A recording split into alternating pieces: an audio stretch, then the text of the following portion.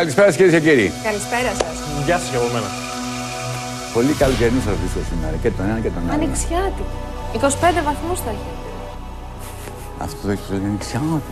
Τι είχε, άνοιξε. μην- Καλησπέρα 21 σας, κυρίες και Μαρτίου, φίλοι. λοιπόν, η Άννηση. Ζητάω ειλικρινά συγγνώμη γιατί ξεκινάμε τόσο αργά.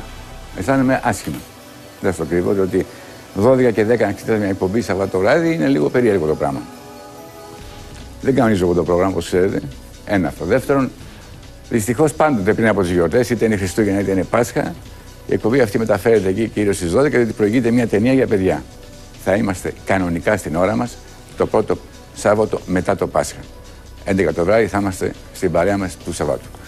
Σήμερα έχουμε δύο πάρα, πάρα πολύ ενδιαφέροντα θέματα. Το ένα έχει σχέση με ένα πλακάκι. με ένα Ποιο πλακάκι πλακάκι; που είναι αυτό. Αυτό το πλακάκι, κυρίες και κύριοι, είναι ένα κομμάτι ενός αντικειμένου που έπεσε από τον ουρανό στην περιοχή του Βοηδομάτη, του ποταμού Βοηδομάτη. Ένα τεράστιο αντικείμενο που ήταν χτισμένο και κλεισμένο από αυτό το υλικό. Κινητοποιήθηκε η ΑΕΠ, η Εθνική Υπηρεσία Πληροφοριών, ο στρατός, το βουτήξανε, το εξαφανίσανε, αλλά κάποιος από την ομάδα της ΑΕΠ πήρε δύο-τρία κομμάτια. Μας τα έδωσε και μετά από 16 χρόνια, το 94 έγινε αυτό, ε; Από το 96. 96. 96. Μετά από 14 χρόνια, αυτός ο άνθρωπος που ήταν στην ομάδα της ΑΕΠ ανοίγει την καρδιά του στην εκπομπή μας σήμερα και μιλάει για ένα γεγονός που δεν το ξέραμε μέχρι σήμερα. Ένα ουράνιο αντικείμενο, πέφτει στο βοηδομάτι, πηγαίνει η ΑΕΠ, πηγαίνει ο στρατός, προλαβαίνει και αρπάζει κάτι ο άνθρωπος αυτός και μας περιγράφει σήμερα τι έχει γίνει. Έτσι θα ξεκινήσουμε. Το επόμενο μας θέμα βεβαίως είναι η παρηδολία. Και θα κάνουμε σήμερα, όπως και το περασμένο Σάββατο, κάποια τεστ για να δούμε τι θέλουμε να βλέπουμε. Τι ο εγκέφαλός μας θέλει να βλέπει και ποια είναι η πραγματικότητα. Θα πρέπει βέβαια από την αρχή να δώσουμε κάποιες διευκρινήσεις με την έννοια ότι αυτό το πλακάκι που σας δείξαμε τώρα, όπως και τα άλλα που έχουν ήδη βρεθεί, έχουμε κάνει κάποιες πρώτες κινήσεις. Έχουμε απευθυνθεί δηλαδή στο Κέντρο Πυρηνικών Ερευνών, στο Δημόκριτο εδώ στην Αθήνα, προκειμένου να μας πούνε από τι είναι κατασκευασμένο, τι είναι το υλικό του και αν θα μπορούσε να έχει γίνει από ανθρώπινο χέρι ή όχι. Και για όσους λοιπόν δεν γνωρίζετε τι είναι ακριβώς το φαινόμενο της παρηδολία, μιλάμε για το φαινόμενο κατά το οποίο το μυαλό μας μπορεί να ερμηνεύει πράγματα που είτε τα βλέπουμε και όντως υπάρχουν, είτε εμείς τα κατασκευάζουμε μέσα από τη φαντασία μας. Είναι λοιπόν ένα φαινόμενο που το συζητάμε σήμερα με αυτά παραδείγματα και βίντεο που θα παρακολουθήσετε απόψε στην επόμενη, βεβαίως, στις επόμενες δύο ώρες από τώρα. Λοιπόν, πάμε στο πρώτο διαφημιστικό διάλειμμα και αμέσως μετά ξεκινάμε. Κυρίες και κύριοι, αυτό το τώρα που ξεκινήσαμε και λίγο αργά, θα έλεγα ότι αυτή η εκπομπή σε ένα μεγάλο ποσοστό είναι βγαλμένη από εσάς τους ίδιους. Το λέω αυτό γιατί από το site που έχουμε, το www.piles.tv, ήδη έχουμε μια ανοιχτή και καλή συνεργασία. Ένας λοιπόν φίλος του site που έχουμε μας έστειλε αυτό το θέμα που θα δείτε στην εκπομπή μας σήμερα. Ένα ουράνιο αντικείμενο πέφτει στον ποταμό Βοηδομάτη, στο δάσος που είναι δίπλα, καίει κάποια δέντρα. Πάνε ομάδες στρατού της ΑΕΠ, το παίρνουν με ένα ελικόπτερο, φεύγει και αυτός προλαβαίνει και παίρνει ένα πλακάκι. Ο ίδιος πιστεύει ότι ήρθε από το διάστημα αυτό το σκάφος. Θα δούμε τι είναι. Α, θέλω να ευχαριστήσω όλους εσάς που μέσα από το site το δικό μας είμαστε σε μια 24ωρη επαφή. Μας δίνετε πολλές ιδέες, πολλά θέματα, πολλές παρατηρήσεις. Λειτουργεί και σήμερα το βράδυ βεβαίως και θα λειτουργεί συνέχεια το site αυτό. Και θέλω να πω ότι ε, η διαφωνία μου είναι μόνο με κάποια παιδάκια που τα βλέπω ότι είναι σχεδόν όλες τις ώρες καρφωμένα στο site αυτό. Υπάρχουν και μαθήματα, υπάρχει και σχολείο και να ξέρουν τα παιδάκια αυτά, έχει νόημα που το λέω, ότι εμείς θα ενημερώσουμε τους γονείς τους γιατί τα παιδάκια αυτά προφανώς δεν έχουν την εποπτεία των γονιών τους. Έχω παρατηρήσει μερικά παιδάκια να είναι καρφωμένα στο site από το πρωί μέχρι το βράδυ. Και αυτό με ανησυχεί σε ό,τι αφορά την οικογένειά τους. Πάμε όμως να δούμε τι θα έχουμε σήμερα το βράδυ.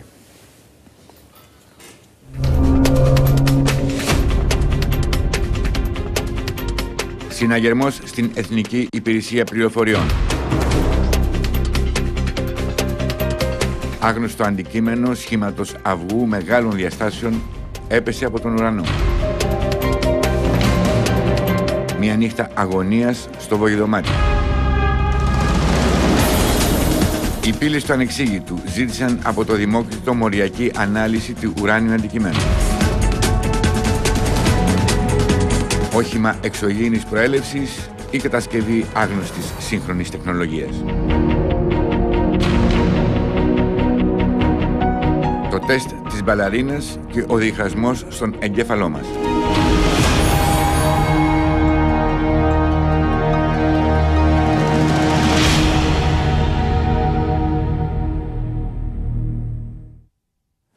Πίστευα θα περάσουμε καλά σήμερα το βράδυ, γιατί πέρα από το θέμα αυτό που είναι πάρα, πάρα πολύ σοβαρό και που πρώτη φορά εμφανίζεται στην ελληνική τηλεόραση, αυτό το σκάφος στο Περιά. Παρατηρητικότητας. Παρατηρητικότητας. Ορισμένες εικόνες που θα τις βλέπουν οι καλεσμένοι μας, οι φίλοι μας που είναι εδώ πέρα στην πλευρά αυτή, και θα τους ρωτάω τι βλέπουν. Θα δείτε ότι ο καθένας μπορεί να βλέπει διαφορετικά πράγματα. Είναι αυτό που έλεγα λίγο πριν και έχουμε κοντά μας τον ε, ψυχίατρο, τον διευθυντή της κλινικής, τον κύριο Βελέτζα, ο οποίος θα μας εξηγήσει πώς λειτουργεί εκείνη τη στιγμή ο εγκέφαλος. Θα βλέπετε μια εικόνα και θα, άλλοι θα βλέπουν κάτι διαφορετικό και άλλοι κάτι διαφορετικό. Α, αυτά είναι τα θέματα σημερινά. Οι καλεσμένοι μας είναι ο κ. Ιωάννης Βελέτζα. Καλησπέρα, κύριε Βελέτζα. Καλησπέρα. Νευρολόγος ψυχιάτρος. Νευρολόγος ψυχίατρος, διευθυντής του Δήμου Κλινικής Νευροφυσιολογίας στο Λαθροπευτείο Υγεία. Ο κ. Κωνσταντίνος Κουλούρης. Καλησπέρα, κύριε Κουλούρη. Καλησπέρα. Ηλεκτρονικός μηχανικός, καθηγητής ΤΕΙ Περαία. Τον έχουμε εδώ πέρα κοντά μας για να μας δώσει κάποια εξήγηση για αυτό το υλικό που θα του δώσουμε. Ο κ. Βαλτάζα. Χαίρετε. Γεια σας. Χαίρομαι πάρα πολύ που είστε κοντά μας αυτό Και το εγώ βράδυ. χαίρομαι που είμαι κοντά σας. Το ξέρετε όλοι σας, ταχυδακτηλουργό, mentalist όπως έχουμε μάθει τον τελευταίο καιρό. Ναι, όχι τσιμένταλιστ. Ε, όχι τσιμένταλιστ. όχι έτσι, mentalist, mentalist. και ο κ. Παγκάτης Παγκατή, καλησπέρα κύριε Παγκάτη. Ο οποίος είναι φωτογράφος με προσωπικές και ομαδικές εκθέσεις καλλιτεχνική φωτογραφία στην Ελλάδα και στο εξωτερικό. Τηλέφωνο εκπομπής 5707-900 είναι 10 γραμμές με τους συνεργάτες μου στην αίθουσα της σύνταξης. Και ε, ανοίγουμε αυτή τη στιγμή την κουβέντα και τη συζήτηση μαζί σας μέσα από το site που έχουμε www.piles.tv. Να βλέπουμε τώρα, να αρχίσουμε να βλέπουμε μερικά πράγματα. Κακό, σιγά σιγά. 1996, ένα βράδυ, κοντά στο ποταμό Βοηδομάτι. Σε ένα δάσος πέφτει ένα αντικείμενο από τον ουρανό. Δεν είναι πέτρα, δεν είναι ένα κομμάτι από μετεωρίτη, από οτιδήποτε. Είναι κάτι που μοιάζει σαν όχημα. Ένα μεγάλο αυγό, ας το πούμε έτσι. Το βλέπουν οι χωρικοί, ειδοποιούν έντρομοι τη χωροφυλακή, η χωροφυλακή το στρατό, ο στρατός πάει, βλέπει και ξαφνικά ειδοποιούν την Εθνική Υπηρεσία Πληροφοριών. Τότε ΚΙΠ. Όταν πάει η ομάδα από την Εθνική Υπηρεσία Πληροφοριών, μέσα στην ομάδα αυτή είναι και ο άνθρωπος ο οποίος μας μιλάει σήμερα το βράδυ. Και μας περιγράφει τι συνέβη και είναι αυτός που πήρε αυτό το αντικείμενο. Αντιλαμβάνεστε ότι επειδή είναι ανώτερος τέλεχο της Εθνικής Υπηρεσίας Πληροφοριών, δεν ήθελε να ακούσει το όνομά του και να φανεί το πρόσωπό του. Το καλύψαμε λιγάκι, αλλά ακούστε, έχει πολύ μεγάλο ενδιαφέρον αυτά που μας, αυτό που μας λέει.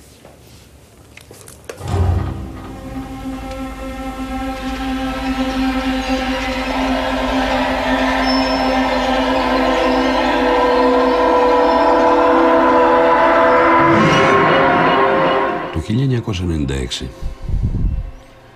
μας κάλεσαν ότι στον Βοηδομάτι ποταμό ήταν άνοιξη. Μάλλον ήταν φθινόπορο. Έχει πέσει κάποιο αντικείμενο το οποίο ένας βοσκός το είδε να πέφτει με μια λάμψη. Ο Βοσκός ειδοποίησε την τοπική αστυνομία. Η αστυνομία ειδοποίησε το στρατό και ο στρατός ειδοποίησε εμάς. Ένα κλιμάκιο της ΑΕΠ, αποτελούμενο από 12 άτομα, μεταξύ αυτών και εμένα, πήγαμε. Σε κάποιο σημείο στο δάσος μέσα στον Βοηδομάτι ποταμό υπήρχαν πολλά δέντρα καμένα και υπήρχε ένα τεράστιο αντικείμενο μέγεθος 35 περίπου μέτρα όπως το μετρήσαμε με 18 μέτρα. Πλάτος. Το οποίο γυάλιζε σαν ασήμι. Δεν είχε πουθενά κάποια ένωση, ήταν ένα τεράστιο πουρο σε σχήμα αυγό.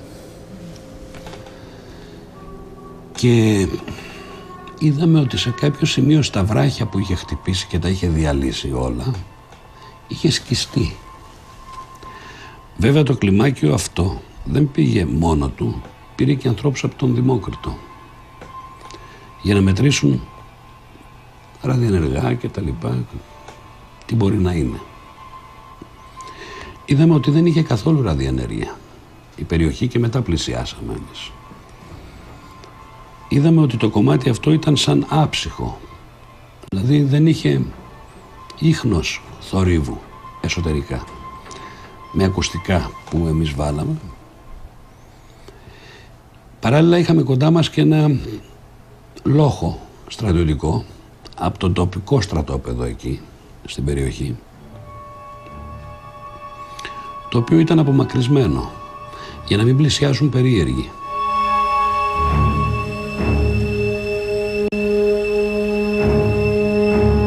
Υπήρχε ένα σκίσιμο στο κομμάτι αυτό. Το κομμάτι είναι αυτό. Υπήρχε ένα σκίσιμο στο κομμάτι αυτό, στο πλάι. Από το σκίσιμο στο 1,5 μέτρο, με φάρδος περίπου μισό μέτρο, 1,5 μέτρο μήκος με φάρδος μισό, που είχαν χυθεί χιλιάδες πλακάκια, εκατοντάδες κάτω, ακριβώς από μέσα, σαν σάντουιτς ήταν τα πλακάκια, υπήρχε άλλο ασημένιο περίβλημα που σήμαινε ότι ή ήταν συμπαγές και ήταν όλο πλακάκια περίβλημα σάντουιτς, πλακάκια περίβλημα σάντουιτς ή ήταν κούφιο μέσα και αυτό ήταν το προστατευτικό του. Σαν διπλό τείχομα μπορώ να πω. Γι' αυτό δεν γνωρίζω αν υπήρχε ζωή μέσα δεν γνωρίζομαι αν υπήρχε ζωή μέσα. Βέβαια οι εντολές ήταν ότι αγγίξουμε να το παραδώσουμε. Μετά από διάρκεια τριών ημερών ένα ελικόπτερο του στρατού δικό μας δεύτερο μιλάω για τα μεγάλα ελικόπτερα. Αφού το δέσαμε και το σηκώσαμε το πήρε το αντικείμενο αυτό και έφυγε. Οι φωτογραφίες που τραβήξαμε ήταν με φιλμ. Και γίναν ειδικές αναλύσεις στα πλακάκια αυτά τα πλακάκια αυτά, από ό,τι μας απήντησαν, είναι από ένα υλικό το οποίο είναι διαμάντι, όπως το διαμάντι. Εγώ έχω ένα μικρό μηχανάκι και μετράω τη σκληρότητα και βλέπω πάντα τις πέτρες, τι σκληρότητα έχουν. Αυτό μου λέει ότι έχει τέσσερα σκληρότητα. Δηλαδή το τέσσερα δεν το χαράζει το γυαλί. Όταν λοιπόν εγώ διαπίστωσα ότι αυτά είναι διαμάντια, ήμουν έκπληκτος έδωσαν να μου κάνουν κάποιες αναλύσεις προσωπικές για δικά μου στοιχεία, για δικές μου πληροφορίες. Είδα λοιπόν ότι αυτά τα αντικείμενα έχουν σκληρότητα 10. Άρα αυτά τα κομμάτια είναι πολύ σπάνια και ίσως και μοναδικά στον κόσμο. Δεν είναι ελληνική ε, ανθρώπινη τεχνολογία. Εγώ πιστεύω ότι δεν είναι από τον δικό μας κόσμο. Εγώ πιστεύω ότι είναι από άλλον κόσμο. Έχω διαβάσει πολύ, ασχολούμαι με αυτό.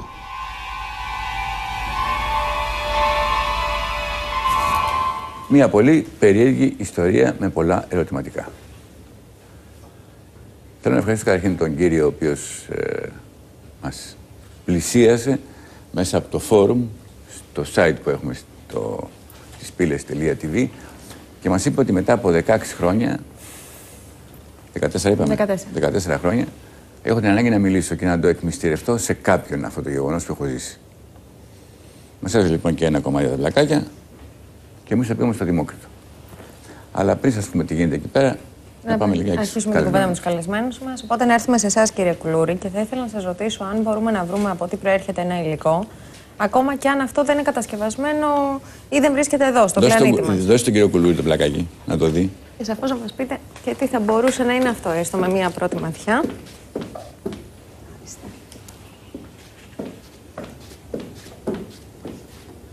Τι σας δίνει σαν ε, πρώτη εικόνα, δεδομένου ότι, κύριε Κουλούρη, σας λέω που σημειώνατε τι έλεγε, αυτό δεν ήταν στο εξωτερικό μέρος του οχήματος, ήταν στο εσωτερικό μέρος του οχήματος. Γιατί το λέει ότι το ήταν στο, το, στο εσωτερικό. Και χύθηκε μάλιστα συγκεκριμένα μετά την πτώση. Αν καλέσετε έναν ιατροδικαστή να κάνει αυτοψία χωρίς πτώμα, θα σας πει ότι Έχετε δίκιο. Αδύνατο. ε, θα μείνει στις ε, μαρτυρίες και μόνον για να κάνει μια περιγραφή, ας πούμε, μόνον από επιστημονική πλευρά. Εγώ θα προσπαθήσω έτσι εντελώς στοιχειοδός και καλοπροαίρετα, ε, δεχόμενος ότι οι παρατηρήσεις και οι δηλώσεις του ομιλούντος με όποια ιδιότητα σήμερα και τότε είναι ειλικρινής καταρχήν. Ακούστε να σου πω κάτι. Τον γνωρίζω τον άνθρωπο. Εντάξει, α, εντάξει, από το παλιά. δέχομαι αυτό. Είναι σοβαρός άνθρωπος, πολύ. Ήταν στέλεχος στην Εθνική Υπηρεσία Πληροφοριών. Πολύ ωραία. Δεν το Ήταν αμφισβητώ. στην ομάδα σχεδόν επικεφαλής που πήγε εκεί πέρα. Άρα λοιπόν δεν αμφισβητώ καθόλου, δεν είναι φαντασιοπληξία όλο αυτό το πράγμα. Ε, επειδή ξέρετε πολύ καλά την άποψή μου για τις αδυναμίες των αισθήσεών μας, ακόμα και όταν είναι καλοπροαίρετες, γιατί εδώ θα μπορούσα να κάνω μια διάκριση, εγώ δεν αμφισβητώ ούτε τη δικιά σας ε, προφανώς γνώμη για ένα συγκεκριμένο Δεν άνθρωπο. έχω καμία γνώμη εγώ. Για τον άνθρωπο έχετε. Α, για τον άνθρωπο έχω, για το τον γεγονός άνθρωπο. δεν έχω. Ξεκινάω λοιπόν από αυτό. Και, κάνω, και δέχομαι, ενώ έχω πολ, πάρα πολλές επιφυλάξεις και, για την, σ- και, για, και για την καλή του πρόθεση. Δεν τον γνωρίζω τον άνθρωπο, άρα δεν κινδυνεύω. Ε, Και για την, αλλά και ακόμα περισσότερο για το ότι πραγματικά περιγράφει με ακρίβεια αυτά που βλέπει. Αυτά όμως δέχομαι ότι δεν ισχύουν. Ναι, ναι. Ε, Έρω τις επιφυλάξεις μου και ξεκινάω. Ναι, ναι. Η πρώτη μου παρατήρηση είναι ότι αυτό ασφαλώς δεν είναι φυσικό αντικείμενο. Πάντα στην επιστήμη τεχνητό κρατάμε δηλαδή. μια πολύ μικρή επιφύλαξη στο ασφαλώς, αλλά ε, αν είναι πάνω από 99,9%. Όταν, λένε, όταν, όταν λέτε δεν είναι φυσικό. Δεν είναι δηλαδή ένα αντικείμενο που έπεσε από τα βράχια, ας πούμε. Είναι που, που είναι προϊόν ας πούμε, φυσικής διεργασίας. κατάλαβα. Ένα, ένα, ε, το μια βρίσκουμε πέτρα στη που, φύση που έτσι σερνόταν εύκολα. στο ποτάμι και ξαφνικά κάποια Ναι, στιγμή ναι, ναι, ξέμεινε. ναι, ναι. Γιατί εγώ έχω ένα. Εκείνος μιλάει για 35 επί 18. Αν αυτό το πράγμα ήταν γεμάτο με αυτά, θα ζύγιζε 10 τόνους. Ναι, ναι. Και εκτιμώντας και το ειδικό βάρος που καταλαβαίνω στο χέρι μου έτσι χοντρικά ότι έχει. Δεύτερον, ε, η μορφή που βλέπω σε πρώτη φάση μου δίνει την εντύπωση ότι είναι οι αλώδες. Άρα είναι προϊόν, αν είναι έτσι, είναι προϊόν ε, πολύ υψηλής θερμοκρασίας. Που σημαίνει ότι θα μπορούσε ενδεχομένως να είχε περάσει ε, από την ατμόσφαιρα πέφτοντας έξω από τη... Ας ξεκινήσουμε δηλαδή με την πιο απίθανη κατά τη γνώμη μου περίπτωση να είχε περάσει μέσα από την ατμόσφαιρα πέφτοντας από, ένα εξωτερικό, από τον εξωτερικό χώρο της γης και εάν όμως είχε συμβεί αυτό, προσέξτε τώρα, εάν είχε τις διαστάσεις 35x18 είναι αδύνατο να είχε προκαλέσει μόνο αυτό το οποίο μας περιέγραψε. Δηλαδή σε αυτή την περίπτωση θα είχαμε εκεί ένα κρατήρα που θα ήταν μερικά χιλιόμετρα μερικά χιλιόμετρα και δεύτερον θα είχαμε πιθανόν μια άλλη καταστροφή της, της, ε, της ζωής πάνω στη γη όπως συνέβη με τους δεινόσαυρους. Πολύ θα ήταν σωστή. δηλαδή μια καταστροφή της τάξης των δεινοσαύρων. Πολύ σωστή παρατήρηση. Όμως, υπάρχει ένα όμως. Εάν αυτό επρόκειτο, αν ήταν ένα όχημα, ίσως να υπήρχε τρόπος μιας συγκράτησης της πτώσης. Πολύ ωραία. Να μην λειτουργήσει σαν μια πέτρα αδρα, ε, αδρανής που πέφτει, αλλά να υπήρχε ένας τρόπος μπαίνοντας στην ατμόσφαιρα της φρενάρει. γης, κάπου να φρενάρει, ας το πούμε έτσι, Πολύ και να ωραία. υπάρξει μια τέτοια κατάσταση. Για να είχε συμβεί λοιπόν αυτό, πράγματι ο διάλογος μας είναι πολύ ωραίος και οδηγεί στο εξής στην πρώτη σκέψη. Ότι αν δεν έχουμε τουλάχιστον την πλήρη. Δηλαδή, πιο πολύ με ενδιαφέρει η περιγραφή του αποτελέσματος της πτώσης Σωστά. παρά Παρά του το αντικειμένου αντικείμενο. αυτού καθ' Βάλτε αυτού. μία ανωτελεία, Γιάννη, σε παρακαλώ, πάμε στο δεύτερο μέρος. Το γεγονός λοιπόν στο υποδομάτι σαφώς και είναι η πρώτη φορά που έρχεται στην επιφάνεια και το δημοσιεύουμε, το κοινοποιούμε σε εσάς απόψε. Το ερώτημα είναι εάν βεβαίως αυτό πρόκειται για ένα φυσικό φαινόμενο, γιατί το αποσιωπήσανε. Εάν όμως είναι τεχνητό, γιατί τελικά αυτό το αντικείμενο κάπου θαύτηκε, κάποιοι το πήραν και κανείς δεν έκανε από το 1996 μέχρι και σήμερα καμία κουβέντα;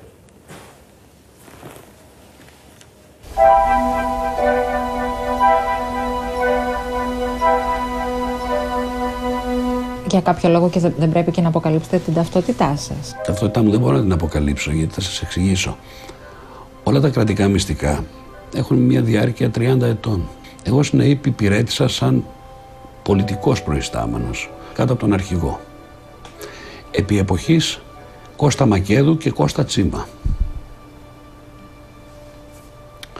Η δουλειά μου δεν ήταν να είμαι πράκτορας. Η δουλειά μου ήταν να είμαι ερευνητής, σύμβουλος.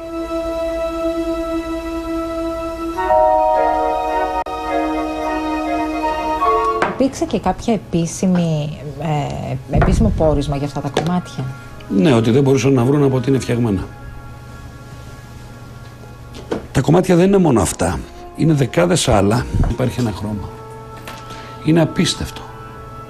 Γιατί δεν έχουν διαφάνεια. Αφού είναι σκληρότητες διαμαντιού και έχει λίγο μεγαλύτερη σκληρότητα από το 10. Γιατί δεν έχουν διαφάνεια. Οτιδήποτε έχει σκληρότητα τέτοια θα έπρεπε να είναι διάφανο. Άρα τα κομμάτια αυτά δεν είναι φυσικά. Είναι συνθετικά ή φτιαγμένα από κάποιους. Από ποιους; Ποιος τα κατασκευάζει αυτά τα κομμάτια; Και ποια τεχνολογία; Και ποια τεχνολογία; Και πού πήγαν αυτά τα κομμάτια; Αυτό το σκάφος τι απέγινε; Αυτό το σκάφος από ό,τι έμαθα εγώ έφυγε για έξω πλέον. Η συνεργασία μας ήταν πάρα πολύ καλή με τους Αμερικάνους όπως ακόμα εξακολουθεί να είναι όπως ακόμα η, η ΑΕΠ και η κάθε ΑΕΠ σε κάθε χώρα συνεργάζεται. Η τρομοκρατία για τα γνωστά υπτάμενα αντικείμενα. Είναι ασύμετρα κομμάτια και εγώ πιστεύω ότι αυτά τα κομμάτια από ό,τι συζήτησα με τους φίλους προστατεύαν τη θερμοκρασία του σκάφους ώστε να μην καίγεται Ήταν επενδεδημένο δηλαδή. μέσα. εσωτερικά. Απ' έξω ήταν ένα πανέμορφο γελιστερό κομμάτι το οποίο εγώ πιστεύω ότι κάτι είχε μέσα. Τι ήταν αυτό από πού άνοιγαν οι πόρτες του και δεν υπήρχαν πόρτες, δεν υπήρχαν ρογμές, σχισμές, δεν υπήρχε τίποτα, ήταν σφραγισμένο πράγμα. Δεν μπορώ να ξέρω, δεν γνωρίζω. Λέτε αυτή η επένδυση να έσωσε το τυχόν πλήρωμα τους Ακριβώς. σκάφους. Διότι είχε διαλύσει όλα τα βράχια, είχε ανοίξει μια, ένα αυλάκι τουλάχιστον 150 μέτρων και είχε καρφωθεί πάνω στα βράχια, όχι στο χώμα. Τα βράχια πάθαν τη ζημιά. Αυτό έπαθε πολύ μικρή ζημιά. Και μερικά δέντρα τα οποία είχαν καεί. Οι κορυφές τους. Και ένα κομμάτι του δέντρου το οποίο είχε καεί τελείως και ο χώρος δίπλα που είχε πέσει αυτό, ο οποίος δεν ήταν μαύρος. Ήταν κανονικός.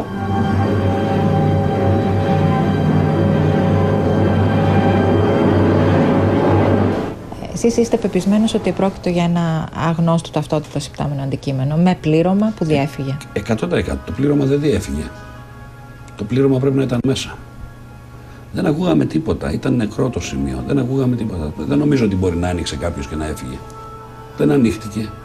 Να μπορούμε να δούμε τι υπήρχε μέσα.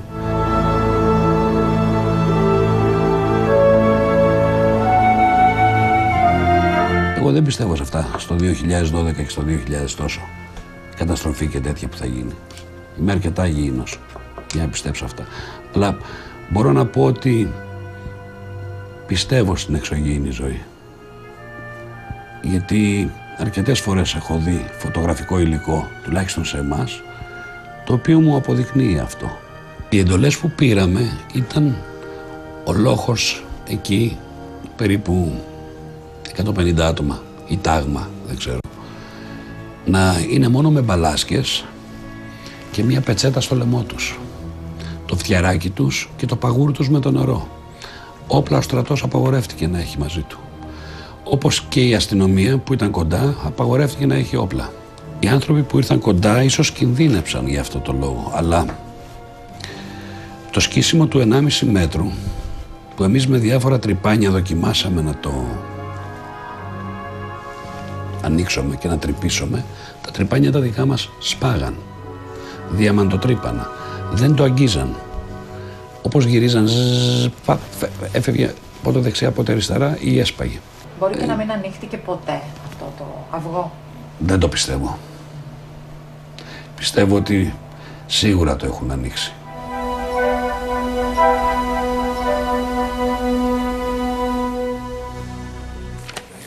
Κάθε βράδυ λοιπόν ε, που έχουμε εκπομπή, για σας κληρώνουμε ένα μίνι λάπτοπ και ένα τηλεσκόπιο. Μπορείτε λοιπόν να τα διεκδικήσετε αυτά και απόψε, αφού στείλετε ένα γραπτό μήνυμα από το κινητό σας με τη λέξη πύλη και ενώ το ονοματεπώνυμό σας και αποστολή στο 54010 για όσο βεβαίως διαρκεί η εκπομπή, δηλαδή περίπου μέχρι τις 2 και 5.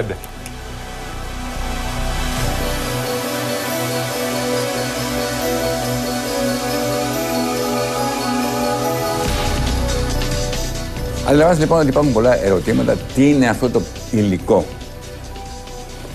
Γιατί το, το μαζέψαν αμέσως αυτό το σκάφος, ας το πούμε έτσι, και το εξαφανίσανε. Γιατί φωνάξαν την ΑΕΠ, την Εθνική Υπηρεσία Πληροφοριών.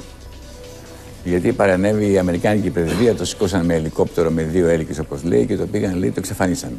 Στην Αμερική, στην Άσα, δεν ξέρω πού. Εκείνο που μπορούμε να κάνουμε εμείς μετά από 14 χρόνια, κυρίες και κύριοι, είναι να πάμε το υλικό αυτό στο Δημόκριτο, στο Κέντρο Πυρηνικών Ερευνών. Το πήγαμε και θα μας δώσουν σε μία εβδομάδα την απάντηση. Μας είπαν σε μια πρώτη άποψη, σε μια πρώτη έτσι, τοποθέτηση, που το είδαν ότι δεν είναι εύκολο να σας πούμε γρήγορα τι είναι αυτό. Είναι αυτά τα ερωτηματικά που έχει ο κ. Κουλούρης. Όπου δεν είναι κάτι γήινο ή εν πάση μια κατασκευή ανθρώπινη. Σίγουρα δεν είναι ένα ε, πέτρωμα που ήρθε από το διάστημα έτσι σαν ε, κομίτη, σαν μετεωρίτη, σαν ε, Αστεροειδής. αστεροειδής, να πέσει ένα κομμάτι που πέφτουν στη γη, διάφορα κομμάτια, μικρά, μεγάλα, πέτρες, τάκ, πέφτουν. Είναι κάτι τεχνητό. Ήταν στο εσωτερικό αυτού του σκάφους, ας το πούμε έτσι. Πάντως, από την άποψη τη δική μου, δεν νομίζω. Μάλλον μπορεί να έχεις σημασία βεβαίω και ποια είναι η σύνθεση του συγκεκριμένου αντικειμένου.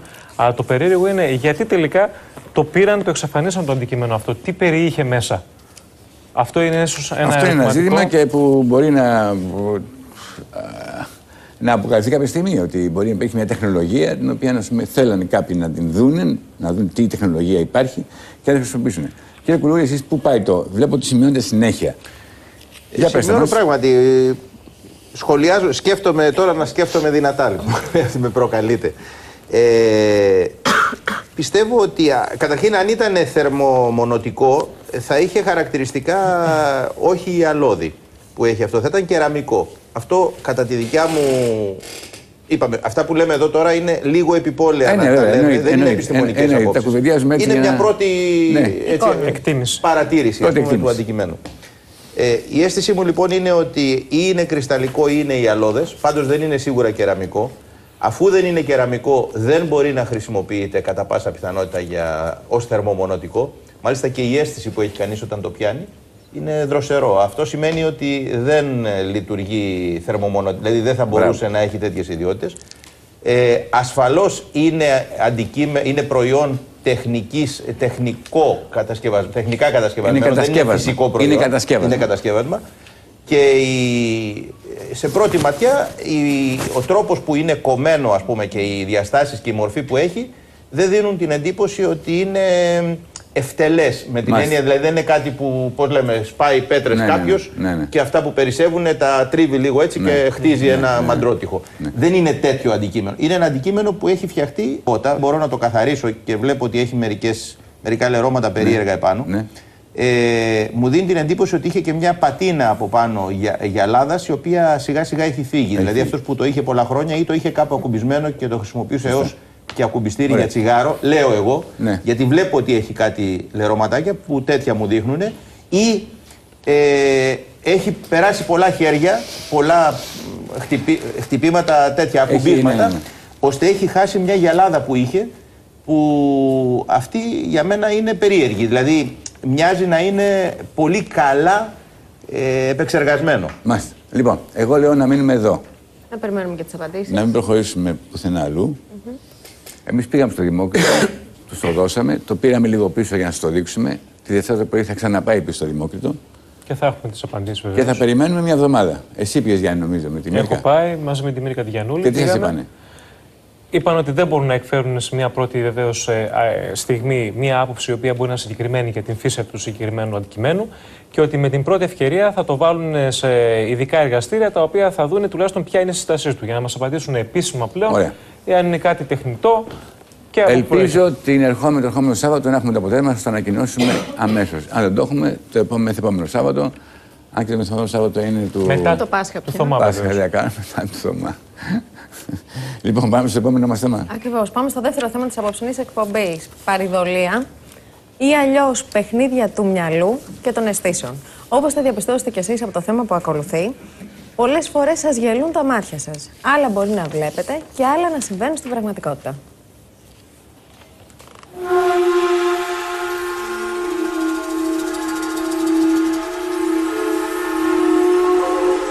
Καταγράφεται η μορφή του Ιησού πάνω σε κομμάτι μπακαλιάρου; Μπορεί μια ιερή μορφή να αποτυπωθεί σε κάποιο ευτελές υλικό; Είναι πράγματι σημάδι θεϊκό η παρουσία του Ιησού πάνω σε ένα κομμάτι μπακαλιάρο; Κρύβεται όντως η Παναγία στον φλοιό ενός δέντρου που αναστάτωσε την Αμερική; Είναι δυνατόν να μας μιλήσουν τα σύννεφα με τους σχηματισμούς τους; Ο εγκέφαλος παίζει με, το, με τη σκιά και το φως και το σχήμα του δίνει τη μορφή που θέλει, που θα ήθελε να δει, που του μοιάζει περισσότερο, που του ταιριάζει.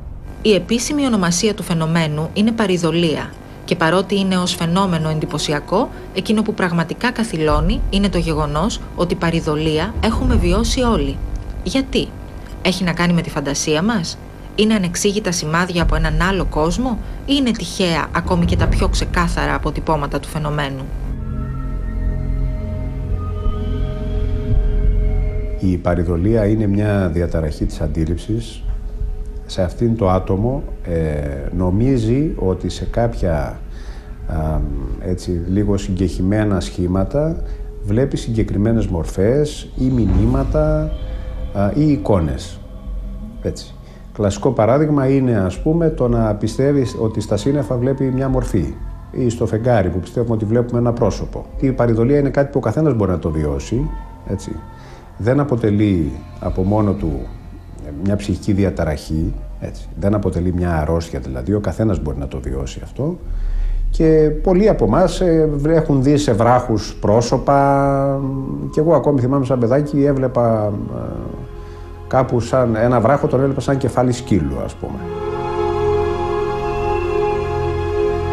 Κύριε Πιτικάκη, έχετε πάθος και με τη σπηλαιολογία αλλά και με τη φωτογραφία και έχετε καταγράψει ε, εικόνες που μπορούμε να δούμε όλοι μας κατά το φαινόμενο της ε, παριδολίας και σε σπήλαια αλλά και σε σύννεφα και σε βουνά της Κρήτης κυρίως. Του χωριού μου της mm. Καλαμάφκας.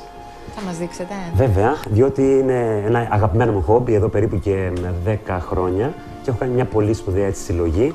Υπάρχει ήδη στο χωριό μου μόνιμη έκθεση με όλα αυτά.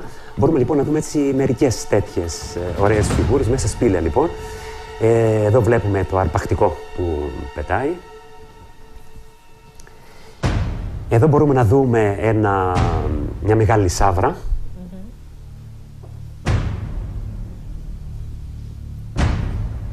Εδώ μπορούμε να δούμε τσούχτρες, σε αυτό το σημείο. Εδώ, αν είχαμε και μία προβοστική, θα λέγαμε ότι είναι το κεφάλι ενός ε, ελέφαντα. Ή ενός προϊστορικού ζώου. Ή ενός προϊστορικού ζώου. Σωστά φαίνεται πολύ καλά το μάτι εδώ πάνω ψηλά. Ε, εδώ θα δούμε με λίγο φαντασία κρεμασμένα ζώα από το τσιγγέλι του Κρεοπόλη. Έτσι, mm-hmm. αρκετά από ό,τι βλέπετε εδώ είναι. Και είναι από σπήλαια της Κρήτης. Είναι από σπήλαια της Καλαμάφκας συγκεκριμένα. Είναι χωριό της Ιεράπετρας, της ορεινής ε, Ιεράπετρας. Ε, η πιο σημαντική όμως, εγώ θα έλεγα έτσι, η ανακάλυψή μου είναι μάλιστα φετινή, είναι τώρα το καλοκαίρι. Είναι στο σπήλαιο του, του Δία, όπου βλέπουμε, μπορούμε να το ονομάσουμε το Δία, το Δία αν το πούμε, εδώ σε αυτό ακριβώς το σημείο, το μουσι του, ε, στο κέντρο εδώ ακριβώς διακρίνεται η, η, φιγούρα. Είναι κάτι που νομίζω δεν πρέπει να έχει έτσι φωτογραφηθεί ακόμα. Είναι εντελώς ε, πρόσφατη, θα λέγαμε, ανακάλυψη. Είναι από τις ε, μοναδικές που είναι εκτός ε, Καλαμάφκας. Το σπήλαιο του Δία, ποιο. Το δικτύο άνδρων που γεννήθηκε κατά την παράδοση και τη μυθολογία ο Δίας είναι στο ορπέδιο Λασιθίου. It looks like a face. Doesn't it? Yeah, it does. I see two eyes moving the thing. Jesus, I know! It's insane on her. That insane. That is insane. That is insane. Look at that. I can't. I see it. How? No. Okay. Look away. Look away and look at it. Like it's not like you can't even like like your imagination's playing with you. That's it. Contact. That's Jesus looking down.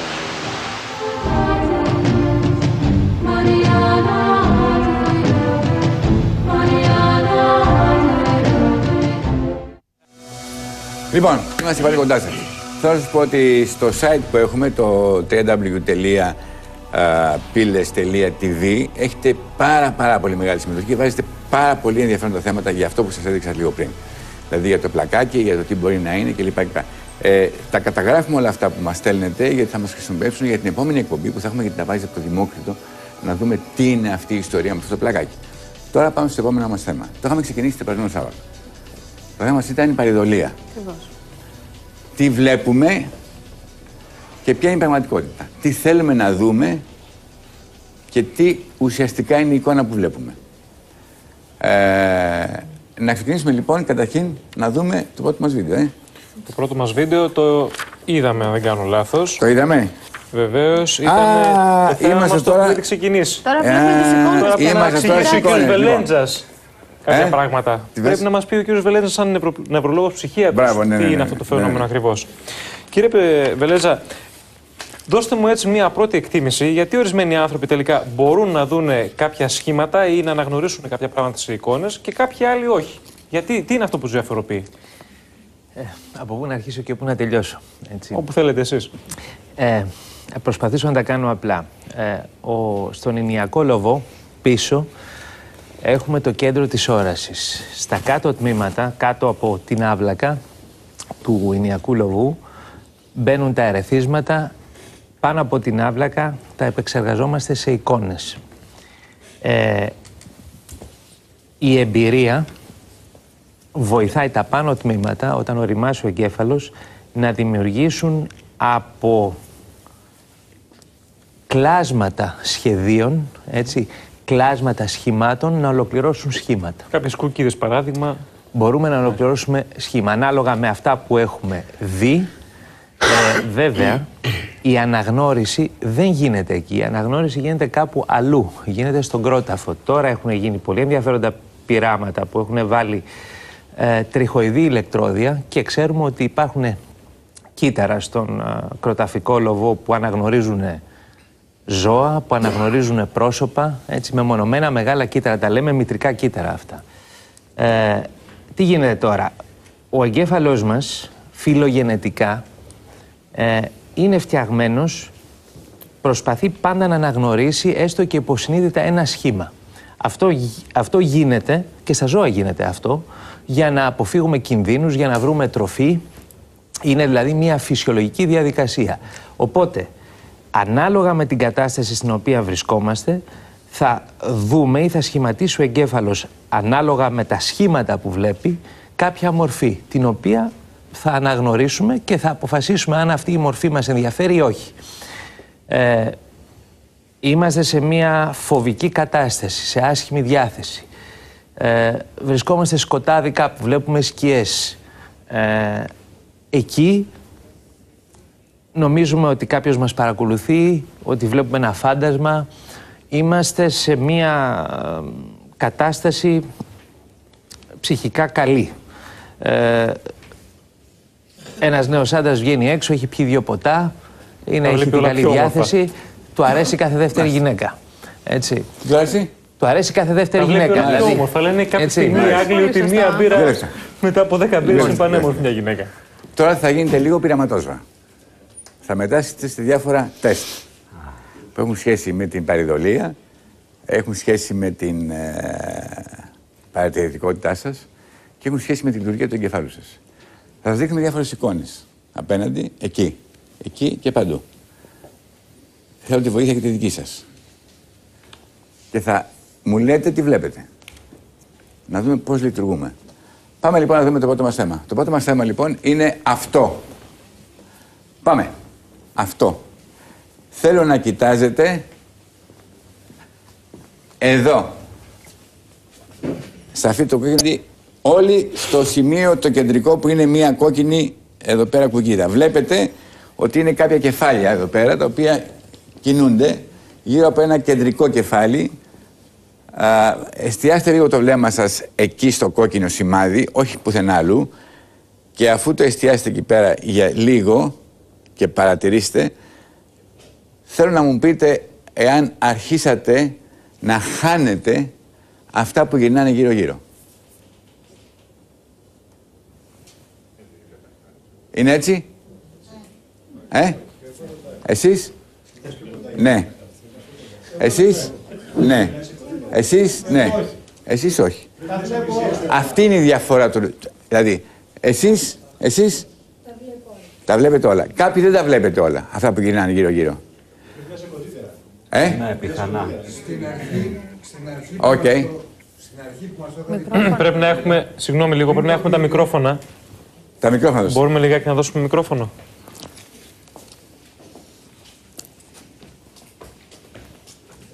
Γιατί σε λίγο. Ναι, δώστε τα μικρόφωνα, σας παρακαλώ, πολύ, να μα μας εξηγήσουν. λοιπόν, έχουμε κάποιους από εσάς που τα χάσανε τα γύρω-γύρω, έχουμε κάποιους από εσάς που τα βλέπαν τα γύρω-γύρω. Έτσι. Πετε μου, θέλει να μου πείτε. Όταν είπατε αυτή την υπόδειξη, τότε τα πρόσεξα. Πριν το πείτε όμως... Το μικρόφωνο, παρακαλώ, στο στόμα σας. Ναι, όταν είχατε πει, ας πούμε, ότι τα χάνετε αυτά τα Ναι, ναι. πράγματα, ε, τότε Σας το είδα. επέβαλα, σας επέβαλα κάποια πράγματα. Έτσι ακριβώς. Προφανώς. Έτσι ακριβώς, ναι. Δηλαδή, αν σας το έλεγα, μπορεί να τα βλέπατε. Έτσι ακριβώς. Αλλά εγώ σας είπα, τα χάσατε. Σας επέβαλα δηλαδή μια άποψη. Ναι, ναι, ναι. Και Είναι μετά το, το control, είδαμε, ναι. το mind control που λέμε. Ε, Suggestion πάμε σε. λέγεται. Για πες μας. Αυτό λέγεται suggestion. Suggestion, ναι. Υποβολή. Δηλαδή, Υποβολή.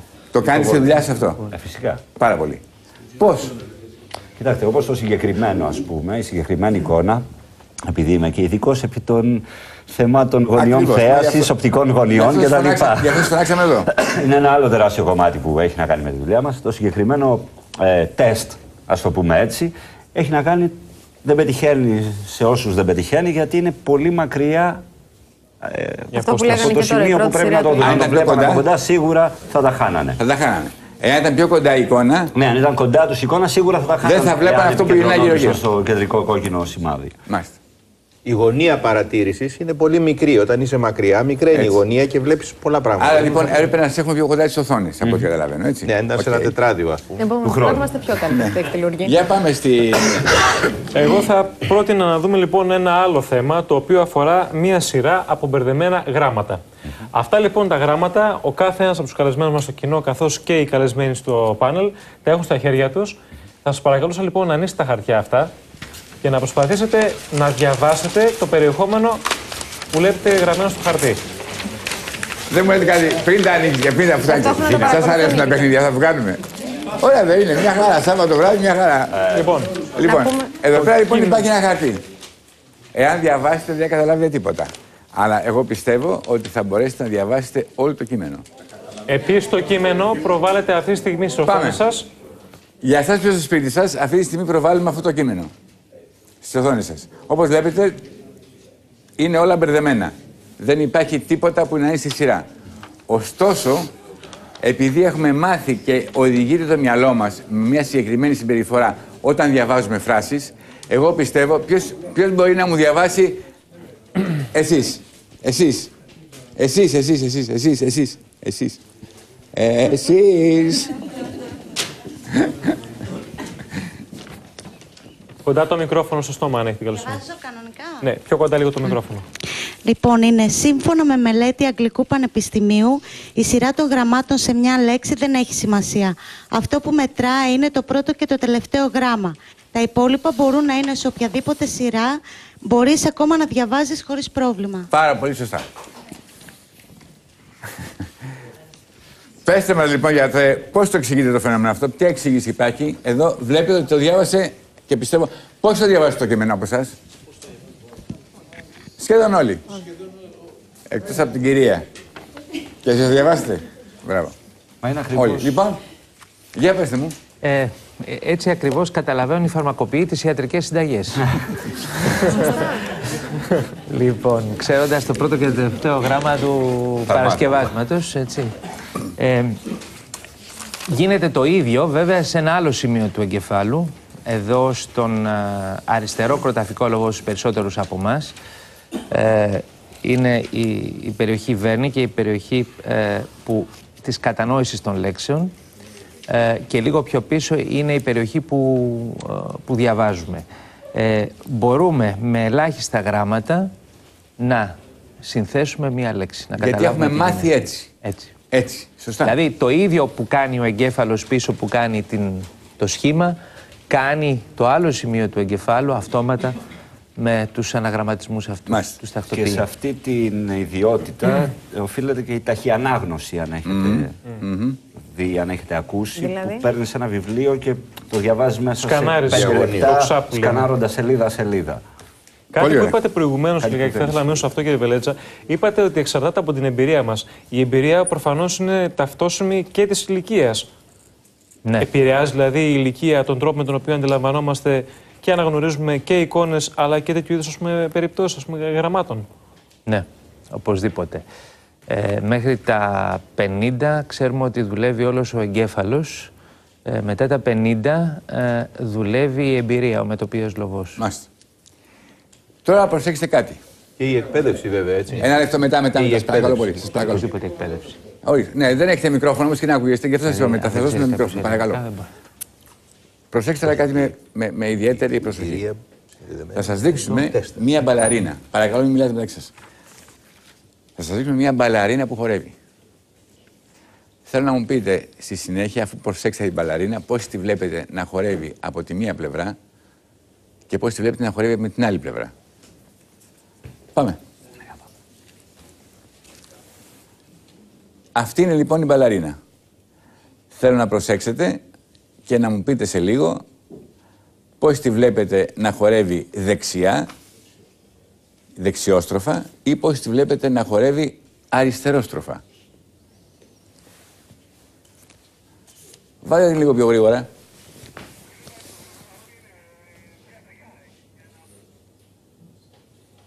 Το ερώτημα μας είναι αν η μπαλαρίνα αυτή χορεύει δεξιόστροφα ή αν χορεύει αριστερόστροφα. Εγώ τη βλέπω καμιά φορά να είναι έτσι και καμιά φορά να είναι αλλιώς. Εσείς πώς τη βλέπετε; Πέστε μου πώς τη βλέπετε να χορεύει δεξιόστροφα. Εσείς. Πώς τη βλέπετε να χορεύει αριστερόστροφα. Εσείς. Πώς τη βλέπετε να χορεύει και αριστερά και δεξιά. Εσείς.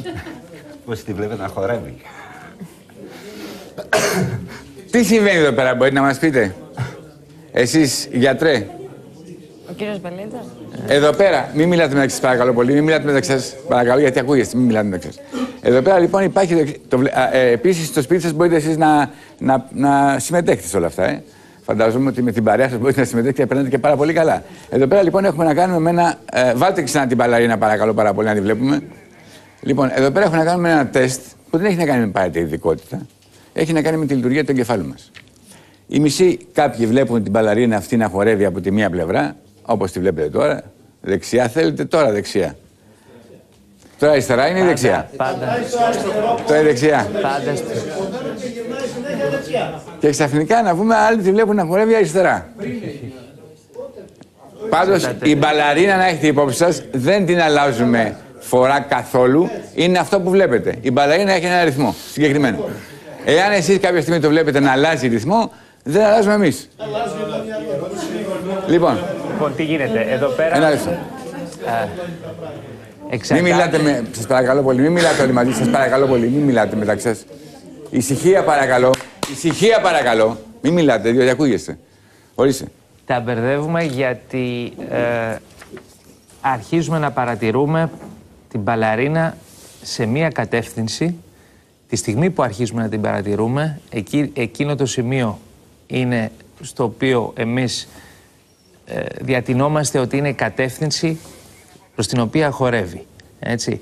Εάν σκεφτόμασταν διαφορετικά χορεύει με τη φορά του ρολογίου ή αντίθετα προς τη φορά, ε, φορά του ρολογίου, δεν θα κάναμε αυτό το λάθος. Βέβαια, το συγκεκριμένο θέμα να πούμε ότι το έχει μελετήσει ο καθηγητής Στίβεν Νοβέλα, ο οποίος είναι καθηγητής νευρολογίας στο Πανεπιστήμιο του Yale. Μας μίλησε και μας εξηγεί ακριβώς τι συμβαίνει στον εγκέφαλο όταν παρακολουθούμε την μπαλαρίνα.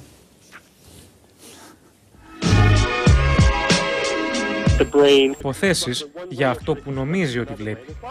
Πρέπει να αναγνωρίσει τη χορεύτρια κινώντας την προς τη μία κατεύθυνση ή προς την άλλη. Παίρνοντας δυσδιάστατη πληροφορία και προσπαθώντας να την επαναδομήσει τρισδιάστατα, μπορεί να επιβραδύνει και να αποφασίσει αν θα την ανασυνθέσει με τον έναν τρόπο ή αν την ανασυνθέσει με τον άλλο. Αυτό δεν λέει πραγματικά τίποτα για το πόσο ο εγκέφαλός σας είναι προγραμματισμένος να συναρμολογεί, να ανασυνθέτει ή να αντιλαμβάνεται αν η χορεύτρια περιστρέφεται προς τα αριστερά ή περιστρέφεται προς τα δεξιά. Και σε αυτό το σημείο δεν χωράει κάποια εξήγηση βασισμένη στην νόηση ή την κουλτούρα και πραγματικά δεν έχει καμία βάση στην ευρωεπιστήμη. Οπότε δεν υπάρχουν στα αλήθεια άνθρωποι που σκέφτονται με το αριστερό ή το δεξί ημισφαίριο; Όχι. Όχι, αυτό είναι πραγματικά λάθος. Το να αντιλαμβάνεσαι τα πράγματα με το αριστερό ημισφαίριο του εγκεφάλου ή με το δεξί δεν ισχύει. Στην πραγματικότητα, τα δύο μισά του εγκεφάλου, τα δύο ημισφαίρια, συνδέονται μεταξύ τους με μια πυκνή συστάδα νευρώνων και επικοινωνούν συνειδητά μεταξύ τους. Οπότε λειτουργούν σαν μία ένωση. Γι' αυτό έχετε έναν συνειδητό εαυτό. Όλα τα μέρη του εγκεφάλου σας δουλεύουν μαζί. conscious self. That's the sort of the net effect of all the parts of your brain working together. Και το μυστικό πίσω από την χορεύτρια είναι ότι έχει δύο διαστάσεις, αλλά εμείς την αντιλαμβανόμαστε σαν τρισδιάστατη εικόνα. Yeah, your visual cortex infers Ναι, η οπτική σας κρίση στην αρχή εκλαμβάνει τα πράγματα σαν τρισδιάστατη πραγματικότητα, μακρινή και σε μεγέθη συγγενικά. Αναμειγνύει, συγχαίει σχεδόν, κάνοντας υποθέσεις για εκείνο που είναι σχεδόν αληθινό και μετά ανακατασκευάζουμε αυτό που βλέπουμε μέσα από αυτές τις υποθέσεις. Για παράδειγμα, υποθέτουμε, καθώς τα πράγματα απομακρύνονται, ότι μικραίνουν. Έτσι, αν δεις ένα μικροκαμωμένο άτομο, ο εγκέφαλός σου θα το αντιληφθεί σαν ένα φυσιολογικού μεγέθους άτομο από πραγματικά μεγάλη απόσταση παρά από το μικροκαμωμένο πρόσωπο που είναι από κοντά. Γιατί έχουμε στο Ταμείο Κατάθεσης Πληροφοριών του εγκεφάλου μας την υποθετική άποψη ότι οι άνθρωποι είναι ορισμένου μεγέθους. Σε αυτή την υποθετική άποψη βασίζεται ο εγκέφαλος για να ανακατασκευάσει την εικόνα που λαμβάνει.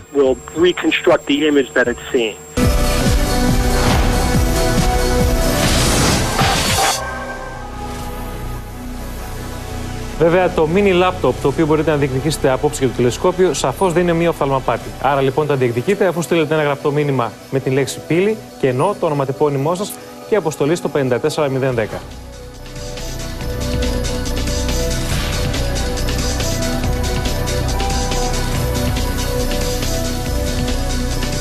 Το επόμενο Σάββατο στις πύλες του Ανεξήγητου, μοναδικές εικόνες από μεταφυσικές καταστάσεις στο ναό της Αναστάσεως των Ιερουσαλήμων και ένα ντοκιμαντέρ που αποκαλύπτει πολλά για τους Αγίους Τόπους.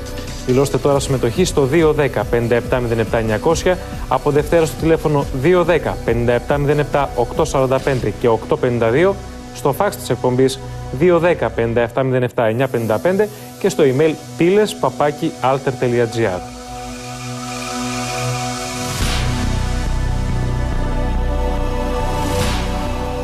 Πρέπει να σα πω κυρίες και κύριοι ότι το ερχόμενο Σάββατο είναι πραγματικά πολύ ενδιαφέρουσα εκπομπή που έχουμε ετοιμάσει. Γιατί θα δείξει καταστάσεις που συμβαίνουν μέσα στο ναό της Ανάστασης από ένα ντοκιμαντέρ που, μάλλον από εικόνες φωτογραφικές που έχει συγκεντρώσει ένας πάρα πολύ γνωστός άνθρωπος. Και αμέσως μετά θα δείξουμε ένα ντοκιμαντέρ που έχει γυριστεί από την κυρία Ψούκλου, που είναι κοντά μας αυτό το βράδυ. Είναι η κυρία που βλέπετε εδώ πέρα, η κυρία Γεωργία Ψούκλου. Ε, η κυρία με το άσπρο ταγέρι, η οποία μας το έδωσε και την ευχαριστούμε πάρα πολύ και την ευχαριστούμε θερμά. Είναι ένα ε, ενδιαφέρον, τρομακτικά ενδιαφέρον ντοκιμαντέρ, το οποίο θα δείξουμε και την Τρίτη στον Αθιάτο κόσμο, γιατί έχει τραβήσει και μοναστήρια που είναι εκεί πέρα, στην έρημο του Σινά και που είναι από έναν παπά που είναι εκεί πέρα για να σηκώνει την ελληνική σημαία. Εκεί πέρα να δείτε τι διαφορά υπάρχει μεταξύ των διαφόρων Εφρέμ της εποχής μας και κάποιων σωστών παπάδων Ελλήνων που είναι εκεί πέρα κάτω. Πάμε σε ένα διάλειμμα και συνεχίζουμε. Πίσω λοιπόν στο στούντιο συζητάμε το θέμα της παρεδολία και έχουμε δει πάρα πολλά τέτοια φαινόμενα και τεστ.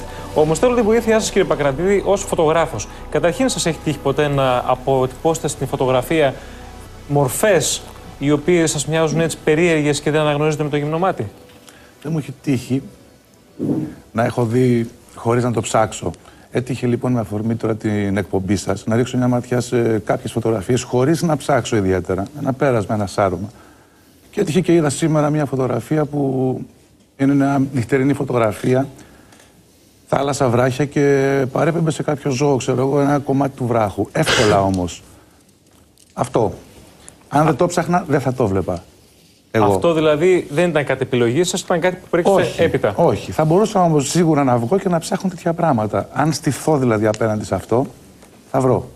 Για να μας πει ο, ο, ο φίλος του κ. Μπαλτάσαρ. Παρακαλώ. Όλα αυτά που στηρίζονται σε οφθαλμαπάτε, στην παρηδολία που λέμε. Τα εμείς. αξιοποιούμε με τον καλύτερο τρόπο. Πώς; Πώς; Θα σας πω, κυρίως αυτά τα κομμάτια της παρηδολίας ε, σε σχέση με την παρηδολία, μου έκανε τρομερή εντύπωση όπως ξεκίνησε το πρώτο σας βίντεο. Ήταν τρομερή η ατάκα. Είδαν τον Χριστό σε ένα μπακαλιάρο. Ήταν καταπληκτικό δηλαδή. Μέχρι τώρα ήξερα ότι έχουμε δει τον Χριστό Φαντάρο. Τώρα τον είδαμε και σε μπακαλιάρο. Οκ. Και ένα κλασικό παράδειγμα παρειδωλίας είναι το διάβασμα του καφέ. Ναι. Ο, Ο, καφές, ο καθένας βλέπει ο- ό,τι θέλει. Ό,τι θέλει, ακριβώς.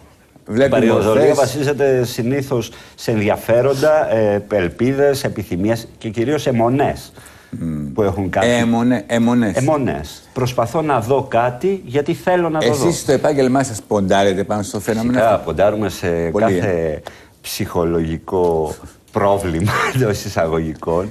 Ε, ποντάρουμε με την καλή έννοια βέβαια. Ναι, ναι, ναι, πάντα, ναι, με- εννοείται φυσικά. Με το καλλιτεχνικό Γιατί ο αποτέλεσμα. άνθρωπος έχει Α- διασκεδάσει, Αυτή είναι η δεν έχει τεράστια την άλλη. διαφορά. Δεν θα, Ναι, ναι, ναι, καταλαβαίνω. θα πιάσω να σας πω Έτσι. τον καφέ ότι εδώ μεγάλη Ναι, ναι, πόρτα ναι, θα διαβείς. Είναι Ε, και εύκολα κυρίως αυτά. το κομμάτι, στο κομμα- ε, είναι εύκολα εάν ξέρεις το αποτέλεσμα. Δηλαδή, ε, ο γιατρός ξέρει γιατί συμβαίνει αυτό. Ο μάγος δεν ξέρει γιατί συμβαίνει. Ο μάγος ξέρει ότι συμβαίνει. Και εφόσον συμβαίνει, κοιτά πώς θα το αξιοποιήσεις στην τέχνη του. Εφόσον μέσα σε αυτή την εικόνα, ας πούμε, όλοι βλέπουν ε, ένα ντο- λιοντάρι σε μια συγκεκριμένη εικόνα ή το 60% ας πούμε βλέπουν ένα λιοντάρι, για παράδειγμα θα μπορούσα να οδηγήσω την κατάσταση έτσι ώστε... Στο να βλέπουν το λιοντάρι. Ακριβώς. Λιοντάραρο να τον βλέπουν έτσι. Τι είπατε κύριε Κουλούρη. Λιοντάραρο να τον βλέπουν έτσι. Ναι. Πολύ λιοντάρι. Στην περασμένη εκπομπή είχαμε δείξει κάποιες εικόνες που ακριβώς οι άνθρωποι βλέπανε διάφορα πράγματα. Και οι Ορίστε. ψυχολόγοι ακόμα βέβαια και οι ψυχίατροι πολλές φορές ενθαρρύνουν την παρηδολία. Ένα πολύ γνωστό τεστ είναι το τεστ Ρόρσαχ. Ρόρσαχ, ακριβώς, ναι. Το οποίο είναι, Που είναι ένα ποιο; τεστ προβολής. Ρόρσαχ. Είναι το πιο γνωστό Το τεστ. οποίο είναι το πιο γνωστό τεστ. ε, Το τεστ προσωπικότητας βασικά. Τι Σαν έχεις τεστ πει δηλαδή να υποβάλλετε κάποιον ώστε να γνωρίζει συγκεκριμένα σχήματα; Ε, είναι, περίεργα, είναι περίεργα σχήματα, περίεργες σκιές. Μπράβο. Το, το τεστ Ρόρσαχ. Μ' αρέσει το τώρα, οποίο- γιατί... το- Όχι κύριε Κουλούρη. Επί τη ευκαιρία, επειδή ξέρετε ότι είμαι αποδομητής των μελλοντολόγων έτσι, και των Ναι. αυτών που κάνουν Ναι. προβλέψει, να σας Α, πω ωραία. ότι. Ως ένα ρεαλιστής φαινόμενο- επιστήμονας. Ένα φαινόμενο παρεδολίας είναι τα ζώδια. Δηλαδή, αν προσπαθήσετε να με πείσετε ότι αυτοί που λένε αυτός είναι ο σκορπιός και εκείνη η δίδυμη, αυτός ο αστερισμός δηλαδή είναι ο σκορπιός και η δίδυμη, εγώ σας βεβαιώνω, εκτός από χιλιάδες άλλες αιτίες που λέω ότι αυτά δεν μπορεί να προβλέπουν τη ζωή και το βίο είτε την επόμενη μέρα κανενός πάνω στη γη. Ε, Συγχρόνως δεν ξέρω και πώς αυτοί αντιλαμβάνονται ότι αυτή η περιγραφή των 12, 15, 20 αστεριών Α, οι στον ουράνιο αστερισμοί θεόλο, η εννοείται. προβολή αστερισμοί, Α, οι τα ζώδια, οι αστερισμοί, αστερισμοί. τα ζώδια, ναι. Ναι, πώς, πώς Πώς αυτοί σχηματίζονται, απεικονίζουν ναι. τα ζώδια. Πώς δηλαδή ε, θα χρειάζεται πολύ μεγάλη φαντασία και πολύ καλή διάθεση από την πλευρά ή υποβολή από την πλευρά του αποδέκτη να του πούνε ότι αυτό εκεί που βλέπεις τα 10, 12, 14 αστέρια είναι το ζώδιο, Μάλιστα. είναι ο αστερισμός του Κατάλαβα. ζυγού. Ναι. Και βέβαια, ε, αν πάμε σε αυτή τη λογική, ότι αυτά όλα έχουν μετατοπιστεί κλπ. Εν τούτης, πιστεύω ότι, επειδή είπε για τον καφέ τώρα, για την πρόβλεψη από τον καφέ, νομίζω ότι κάπως έτσι ε, είναι και η περίπτωση των, ε, των ουράνιων ας πούμε, αστερισμών που απεικονίζουν το μέλλον μας ε, όταν δεν απεικονίζουν το κακό μας παρελθόν.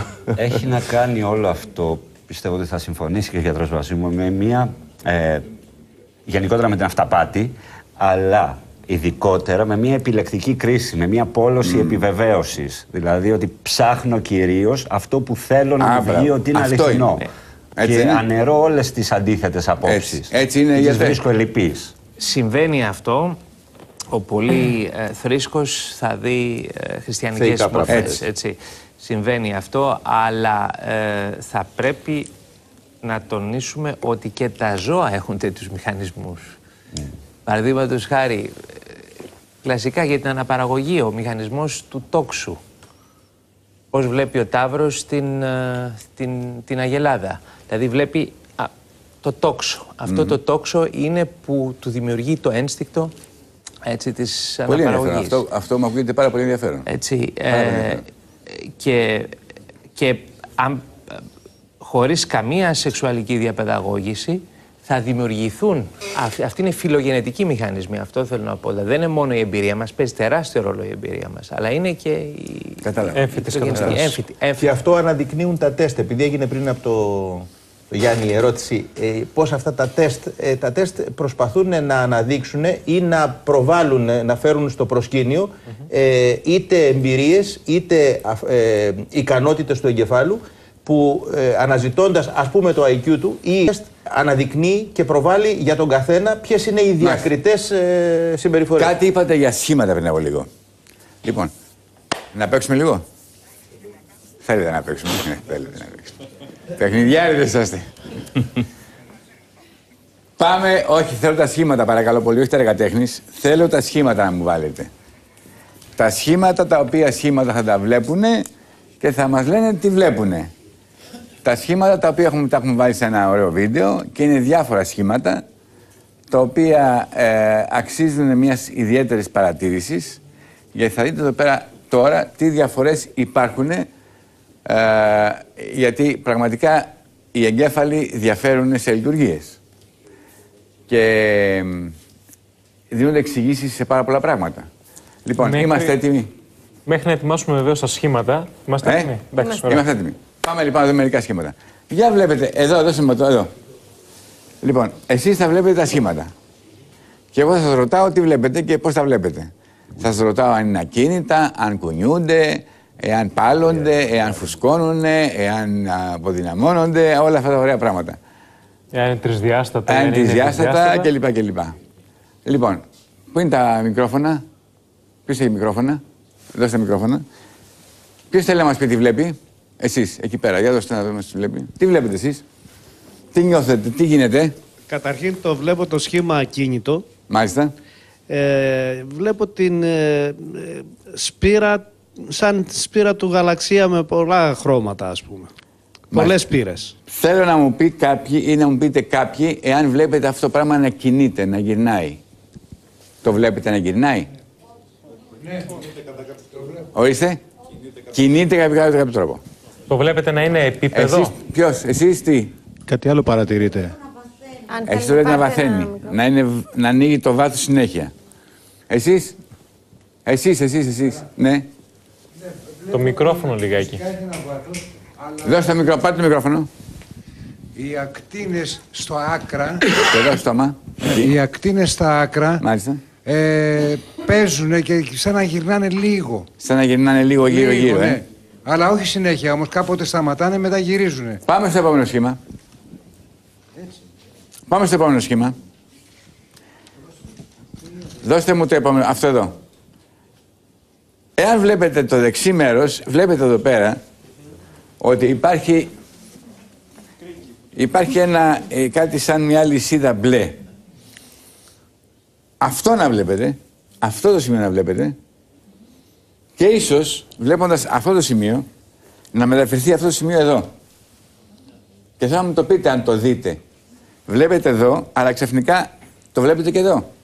Είναι έτσι; Ε, Συνήθως αυτά θέλουν συγκεκριμένη απόσταση για Θέλουν να. απόσταση. Δεν δουλεύουν έτσι. Να. Πρέπει να είναι στο χαρτί. Είναι σε Μισό λεπτάκι, απόσταση μισό λεπτάκι. 30 πόντων, δηλαδή διαπράγματα. είναι μακριά. Σε απόσταση Πόσοι διαπράγματος, βλέπετε μισό μέτρο. ότι αυτό Ναι. το περίβλημα Τα 3D το βλέπετε και εδώ. Πώς το βλέπετε; Αρκετοί πάντως. Αχνά. Ε, ναι, εντάξει εδώ, ε, αχνά. Δηλαδή βλέπετε αυτό, αλλά αυτό μεταφέρεται εδώ. Αυτό τι σημαίνει, γιατρέ; Ότι βλέπουν αυτό, αλλά το βλέπουν και εκεί. Αυτό είναι, ε, είναι αλλού το πρόβλημα. Πολλές Πρόβλημα. φορές είναι αλλού το πρόβλημα. Γιατί μιλάμε για πρόβλημα, έτσι. Δηλαδή έχουν πρόβλημα οι άνθρωποι το βλέπουν έτσι; Όχι, όχι, όχι. Ε, Δεν συμβαίνει σε όλους μας, αυτό είναι το θέμα. συμβαίνει, τι γίνεται; Γιατί το είδα ότι- και εγώ, δηλαδή, άμα είναι- έχω, έχω πρόβλημα, να το Ε, ξέρω. ότι αξιοποιήσω. αποτι...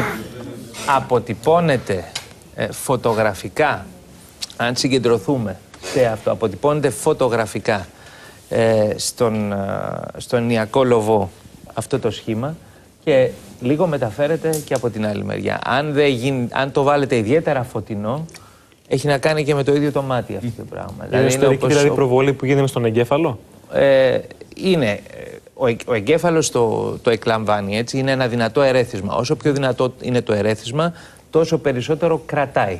Οπότε μπορεί να μεταφερθεί και στην άλλη. Μάλιστα. Πάμε στο επόμενο σχήμα. Να δούμε τι θα κάνουμε. Το επόμενο σχήμα είναι αυτό. Για πέστε μου. Τι βλέπετε στο σκοτεινό μέρος της εικόνας; Τι βλέπετε; Ένα ζευγάρι που φιλιέται κάτω από μια ομπρέλα. Εσείς, παρακαλώ πολύ, δίνετε το μικρόφωνο. Εσείς, Λίγο ανάποδα. ορίστε εδώ. Τι βλέπετε; Ε, είναι δύο άνθρωποι με γυρισμένες πλάτες. Δύο λεφτά. Ο ένας είπε ότι φιλιούνται. Δεν μπορεί να φιλιούνται με γυρισμένες πλάτες. Εγώ έτσι Εγώ το δεν το ξαναδεί αυτό στη ζωή μου. Ναι, εκτός. Ε, Είναι περίεργο. Εσείς βλέπετε ότι είναι με γυρισμένες πλάτες. Ναι, ναι. Ωραία. Εσείς τι βλέπετε εκεί πέρα κάτω, εδώ, εδώ, εσείς. Εσείς τι βλέπετε εσείς; Εσείς τι βλέπετε; Εγώ βλέπω ένα ζευγάρι το οποίο είναι με γυρισμένη πλάτη ένας στον άλλον. Ναι. Αλλά τους βλέπω Ναι. και σαν να είναι και λίγο δεμένοι. Και λίγο δεμένοι Δεν μεταξύ ξέρω αν τους. αυτό να είναι ησυχητικό. Δεν ξέρω. Μάλιστα. Ε, δεν ξέρω. Τι άλλο βλέπετε; Βλέπετε κάτι άλλο; Εσείς; Το κάναμε Εγώ σοου βλέπω- σήμερα. Τι να κάνουμε. Βλέπω ένα ζευγάρι και μάλιστα πρέπει η αριστερά να είναι η γυναίκα και δεξιά ο άντρας. Ε, οι οποίοι είναι το πλάτη με λέω. πλάτη. Εσείς προχωρήσετε πάρα πολύ. Δηλαδή... Όχι, όχι. Φαίνεται από το, από το στυλ. Από το... Αριστερά. Αυτή είναι η γυναίκα δηλαδή, ε. Αυτή είναι η γυναίκα. Έχει ναι, και το έτσι στήθος, νομίζω. εδώ το στήθος.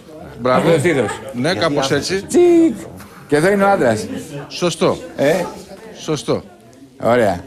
Είναι με γυρισμένες πλάτες. Ναι. Ποιος είπε ότι φιλιούνται μεταξύ τους. Κάποιος πρέπει να κάνει λάθος στην αρχή. Και εκτιμένη ταχύτητα προφανώς. Πάμε στο επόμενο σχήμα. Αυτό. Δείτε το. Κυρίες και κύριοι, εσείς που είστε στο σπίτι σας, μπορείτε και στο σπίτι σας να ε, κάνετε αυτό το. Είναι ένα. Ε, ξέρετε κάτι; Επειδή ξεκινάμε και αργά και είναι Σαββατόβραδο, λέμε έτσι να παίζουμε και λιγάκι, γιατί εντάξει, θα ακούμε και βέβαια ορισμένα ενδιαφέροντα θέματα, αλλά να παίζουμε και λιγάκι, να κάνουμε κάτι τεστ, να εξηγούμε και μερικά πράγματα, να καταλαβαίνουμε. Για πετε μου λοιπόν, αυτό που βλέπετε τώρα,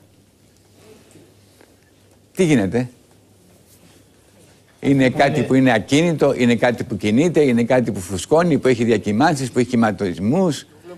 Κύριε Χαρδαβέλα, Κύριε- αυτοί που είναι κύριε στην- Χαρδαβέλα. να πάνε κοντά στην τηλεόραση, Να ώστε πάτε- να βλέπουν όλο Μπράβο. το πεδίο να το γεμίζει η οθόνη. Αυτό είναι το θέμα. Αυτό είναι το πρόβλημα. Εδώ οι Αυτό είναι το γωνίες θέμα. είναι μικρές και Έτσι. δεν προλαβαίνουν να απεικονιστούν στο, στο, εστιακό- στο Αυτό είναι το ε, ζήτημα. οπτικό νεύρο. Το... Αυτό δηλαδή έπρεπε η οθόνη να είναι εδώ πέρα κάπου κοντά Σε απόσταση που να γεμίζει. και να έχουν το- όλη την εικόνα μόνο αυτή. Να γεμίζει Έτσι θα το- το έβγαινε οπτικό ένα πεδίο. συμπέρασμα.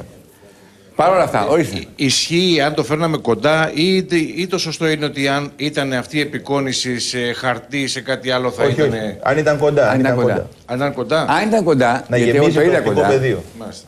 Εγώ το είδα κοντά. Εάν ήταν κοντά, θα ένιω, ε, βλέπω ότι υπάρχει καταρχήν ένας σχηματισμός. Ναι, που υπάρχει μετά ένας γίνεται- παλμός σε όλα. μετά Ένα γίνεται παλμός. κυκλική κίνηση. Έτσι, ένας παλμός.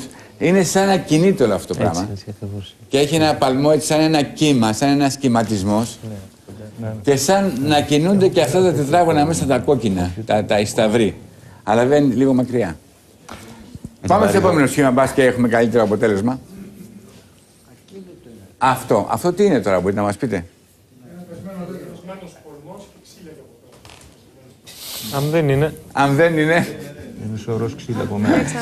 Εσείς βλέπετε, εσείς βλέπετε ένα πεσμένο κορμό, ένα δέντρο ολόκληρο πεσμένο και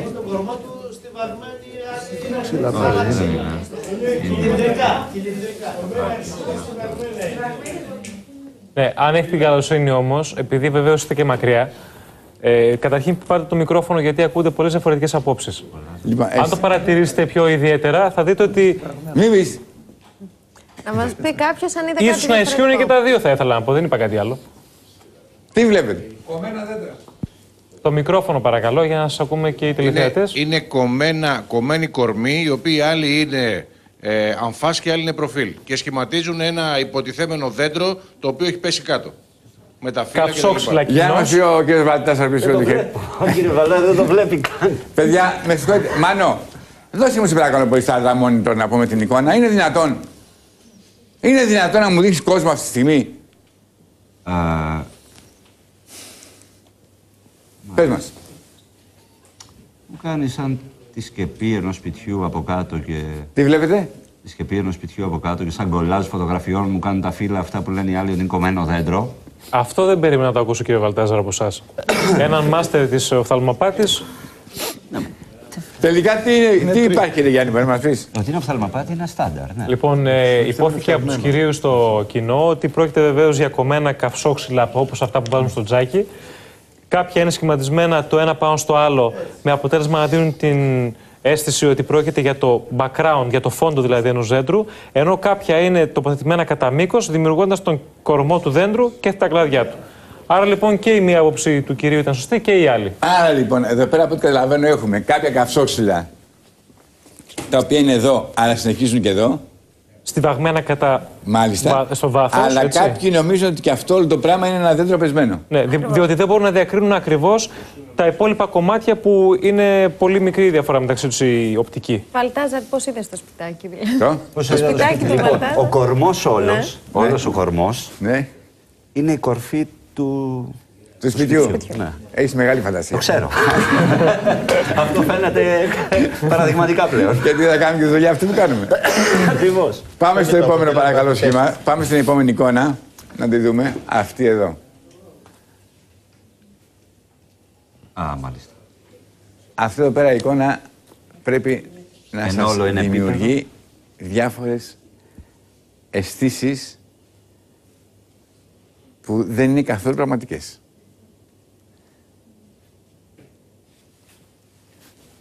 Πώς τη βλέπετε, για πετε μου. Τι γίνεται, είναι έτσι μια εικόνα σκέτη; Σταθερείτε εσείς στα καμπυλότητα προς τα Ορίστε έξω. εσείς. Εσείς εκεί πέρα η κυρία. Πώς λέγεστε; Ναι. Η κυρία Ανδρο... Τι όνομα είναι αυτό; Ανδρομέδα, καταπληκτικό όνομα. Ναι, φαίνεται επίπεδη. Πολύ ωραίο όνομα. Για πες μας λοιπόν την Ανδρομέδα. Λοιπόν, ε, βλέπω τη φωτογραφία καταρχήν να φουσκώνει κάπως έτσι. Στο να... κέντρο, ε; Ναι. Στο Αλλά κέντρο. κανονικά είναι, πρέπει να είναι ίσχυες οι γραμμές Ναι. και επίπεδη η επιφάνεια. Ναι. Νομίζω τώρα. ναι. Έτσι το Αλλά βλέπω. δεν θα φουσκώνει στο κέντρο. Ναι, το βλέπω έτσι. Πες τον κύριο Κουλούρη. Έτσι είναι, αλήθεια. Ε; Έτσι ακριβώς είναι. Ναι, αλλά είναι δεν μια παράλληλα. προφανή οφθαλμαπάτη. Ναι, Είναι αυτή μια προφανής πολύ οφθαλμαπάτη. έντονη. Ναι, ναι. Δεν αλλά- φουσκώνει. Δεν φουσκώνει, είναι επίπεδη. Αλλά βλέπει να τους φουσκώνει. Πάμε στην επόμενη. στη- με- επόμενη. Ε, κάτι ανάποδο από αυτό που βλέπουμε αυτή τη στιγμή είναι χαρακτηριστικό είναι αυτό που λέμε ότι έχουν οι κολόνες του Παρθενώνα. Στις κολόνες τους Παρθενώνα Μπράβο. η Θα το δούμε και παραλληλή στην πορεία της είναι το εκπομπής. ανάποδο. Το επόμενο βίντεο. Το Η επόμενο παραλληλή- βίντεο. Α, Ελπίζω να το συγγνώμη, προλάβω. συγχωρείτε. Το επόμενο- Όχι, δεν χωράει. Δεν χωράει. Μια χαρά. εσύ, Εμείς χωράει. χαιρόμαστε που δεν ημέρα. Αυτό εδώ πέρα εδώ τι είναι. Ένα πρόσωπο, δύο, τρία πρόσωπα. Πόσα πρόσωπα. είναι Αυτό εδώ το πέρα; βλέπουμε πάλι στο Ρόρσαχ. Τι είπατε; Ανάλογο. Είναι, είναι, τα- Τι είπατε; είναι Το τα- τεστ, το Ναι, τεστ ναι, που ναι. γίνεται, το ψυχιατρικό. Ναι, ναι, ναι. Κύριε Τι Βελέτζα, είπατε; πείτε μας ακριβώς τι Για αφορά πετε αυτό το μου. τεστ. Αυτό είναι ένα τεστ προσωπικότητας, το οποίο όμως εγώ ε, δεν το θεωρώ και πολύ αξιόπιστο γιατί εξαρτάται από την υποκειμενικότητα του εξεταστή. Ακριβώ. Και προβάλλεται Δεν είναι δηλαδή μόνο- τέτοιου είδους σχήματα ώστε να Ακριβώς. Ε, αποτυπωθεί Είναι τι. τέτοια σχήματα ακριβώς. Αυτό είναι Για το, πετε μου, το- γιατί το το ρόλο. κάνετε αυτό το τεστ; Ε, το κάνουν ε, συνήθως για να διαπιστώσουν ε, στοιχεία της προσωπικότητας του εξεταζόμενου. Τι περιμένετε σαν απάντηση σε αυτό το τεστ; Εδώ μπαίνει η υποκειμενικότητά μου. Έτσι. Πόσα πρόσωπα βλέπουν ή τι βλέπουν. Πόσα πρόσωπα βλέπουν, μπορούν να πούνε και τι νομίζουν ότι έχουν αυτά τα πρόσωπα, αν είναι Ποιος θέλει να απειλητικά, αν απαντήσει είναι- σε αυτά τα ερωτήματα όλα. Εσείς; Πάρε το μικρόφωνο. Εδώ. Θέλω να μας πείτε τι βλέπετε; Βλέπω Σε- τρία πρόσωπα. Μάλιστα. Σκιέ όμως. Λένε Προφανώς. τελείως κατάμαυρα. Ναι, ναι. Δύο κοιτάνε προς τα αριστερά, το, κεντρό, το δεξιό από τα δύο δεν πολύ φαίνεται. Το αριστερά είναι, φαίνεται πάρα πολύ καθαρά. Εννοείται από την πλευρά αυτή ή αυτή; Όχι από αυτή που δείχνεται είναι Από δύο. αυτή. Το αριστερά φαίνεται πολύ καθαρά. Το άλλο, Εδώ. Εδώ ναι, βλέπετε το άλλο από εδώ. στο- στο κέντρο ψηλοφαίνεται. Αυτό Ναι. ψηλοφαίνεται και δεξιά είναι ένα πολύ χαρακτηριστικό με μύτη που χαρακτηριστική και τσουλούφι κιόλας φαίνεται πάρα πολύ χαρακτηριστικά. Και κάτω από αυτό είναι σαν θάμνος έτσι μπλεγμένος, δεν ξέρω που είναι σε μια βάση εντάξει το από κάτω. Μάλιστα. Αυτό. Άλλος; Τα ίδια, περίπου. Τι σημαίνουν αυτά που λένε, Δηλαδή, όταν βλέπουν τρία πρόσωπα, οι εκφράσεις είναι διαφορετικές. Άντρας και γυναίκα. Εσείς τι καταλαβαίνετε από αυτά που, που λένε ή που σας λένε οι, οι άνθρωποι που εξετάζετε; Καταλαβαίνετε για το ψυχισμό τους κάτι, αυτό θέλω να πω. δηλαδή. Ο, ε, καταρχήν, αυτό δείχνει μια ορισμένη παρατηρητικότητα. Δηλαδή, αν κάποιος μου πει εδώ πέρα ότι ε, βλέπει ε, ε, ένα θάμνο... Ναι, όπως έτσι, είπανε. Όπως είπανε. πάνω δηλαδή, στη σκιά. Γιατί στο Ρόρσαχ δεν βλέπουμε το κάτω, βλέπουμε το πάνω. Έτσι. Αυτό, αυτό είναι υποθετικό που λέει Ναι. ο γιατρός. Δηλαδή, δεν λέω για αυτό, λέω για, το, για τη σκιά. Τότε τουλάχιστον ε, μπορεί κανείς να υποθέσει ότι ε, η οπτική ανάλυση, ή μάλλον η οπτική φαντασία, ε, η, ε, σαν ικανότητα δεν είναι τόσο ανεπτυγμένη. Από εκεί και πέρα, ε, αυτό από νευροψυχολογική άποψη. Από εκεί και πέρα όμως θα πρέπει κανείς να προχωρήσει και στην, ε, στον χαρακτήρα αυτών των προσώπων. Δηλαδή τι, τι θυμίζουν αυτά Κατάλαβα. τα πρόσωπα ε, και, εκεί αυτό που μπορεί να, καλύπτει- και εκεί μπορεί να... Μπορεί να, να, να, να εξετάσεις και να βρεις πράγματα. Έτσι. Πάμε σε ένα διάλειμμα τελευταίο και συνεχίζουμε. Πρέπει να πω σε εσάς που είστε στη σπίτι σας ότι αμέσως μετά το τέλος της εκπομπής στο site που έχουμε στο διαδίκτυο piles.tv θα υπάρχουν πολλά τέτοια τεστ για την παρηδολία, για την παρατηρητικότητα, για ψευδεσίσεις κλπ. Μπορείτε λοιπόν να περάσετε ένα βράδυ, αν δεν έχετε να κάνετε τίποτα άλλο, στο σπίτι σας και σήμερα και αύριο και μεθαύριο με την παρέα σας να κάνετε αυτά τα τεστ. Θα τα δείξουμε αμέσως μετά το τέλος της εκπομπής. Ανοίγουν, ανοίγει, α, υπάρχει βεβαίως το, το site είναι ανοιχτό μόνιμα, αλλά θέλω να πω θα βάλουμε, θα ανεβάσουμε τέτοια τεστ για σας. Να πάμε τώρα λιγάκι σιγά σιγά να βλέπουμε Ακριβώς, κάποια αυτό θα αφήσουμε πριν πράγματα. τον κύριο Κουλούρη να πει. Μας μιλάει στο βίντεο κυρίω ο κύριος Πιτικάκης, ο οποίος έρχεται να μας πει ότι μυστήριο με παρηδολία καλύπτει ακόμα και την Ακρόπολη. Και συγκεκριμένα ότι στο ναό του Παρθενώνα οι Κύονε δεν είναι σε ευθεία γραμμή, αλλά κάτι άλλο συμβαίνει.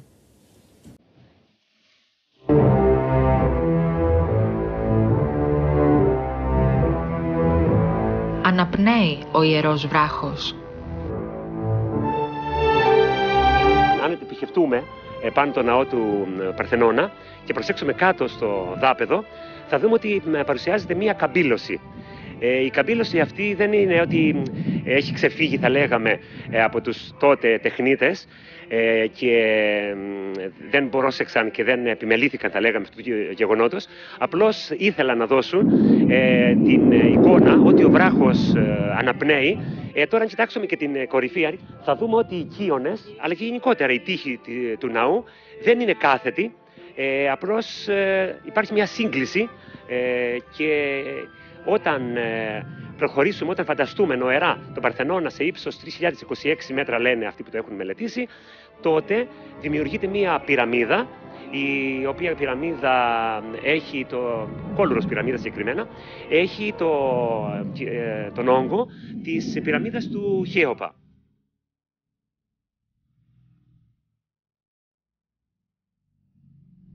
Ο ιερός βράχος τι είναι τελικά για την Αθήνα; Είναι η ενεργειακή μας πέτρα. Είναι αυτό που δονεί ε, την ε, Αθήνα. Ε, βρίσκεται σε ένα... μ, ε, σε μια συμμετρία ανάμεσα στον ε, Ημιτό ε, και στην Πάρνηθα, σε μια συμμετρία ανάμεσα στη θάλασσα και, στην, ε, λεκα- και στο άλλο άκρο της λεκάνης που σχηματίζουν τα δύο βουνά. Δεν είναι τυχαία, δεν, διαλέχτηκε, δεν επιλέχτηκε τυχαία ο λόφος αυτός. Υπάρχουν πολύ ψηλότεροι για να χτίσει κανείς μια Ακρόπολη. Ε, συνέβαλε ε, πολύ στην, ε, στο να ενεργοποιεί, να ε, δονεί τον τόπο.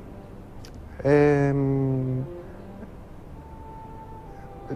δίνοντας ε, υγεία ε, σ- στους ανθρώπους και στην ε, γύρω περιοχή. Για σας ποια είναι η πιο πιστευτή και αγαπημένη εκδοχή; Είναι παριδολία, είναι τυχαίο, είναι ο ζωντανός βράχος που πάλεται και αναβλύζει μορφές; Είναι παρηδολία, είναι simulacra όλο αυτό. Ο βράχος ακτινοβολεί με τρόπους που δεν καταλαβαίνουμε, αλλά που μπορούμε να τους νιώσουμε. Οι βραχομορφές αυτές φαίνονται καλύτερα ε, μετά από βροχερό καιρό.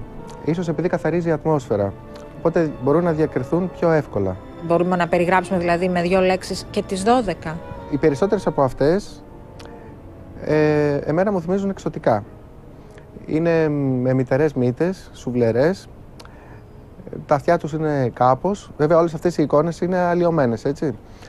Ε, μπορεί αυτό να είναι φαινόμενο αλλίωσης που έχει δημιουργηθεί με, τα, με τον καιρό, με τις βροχές.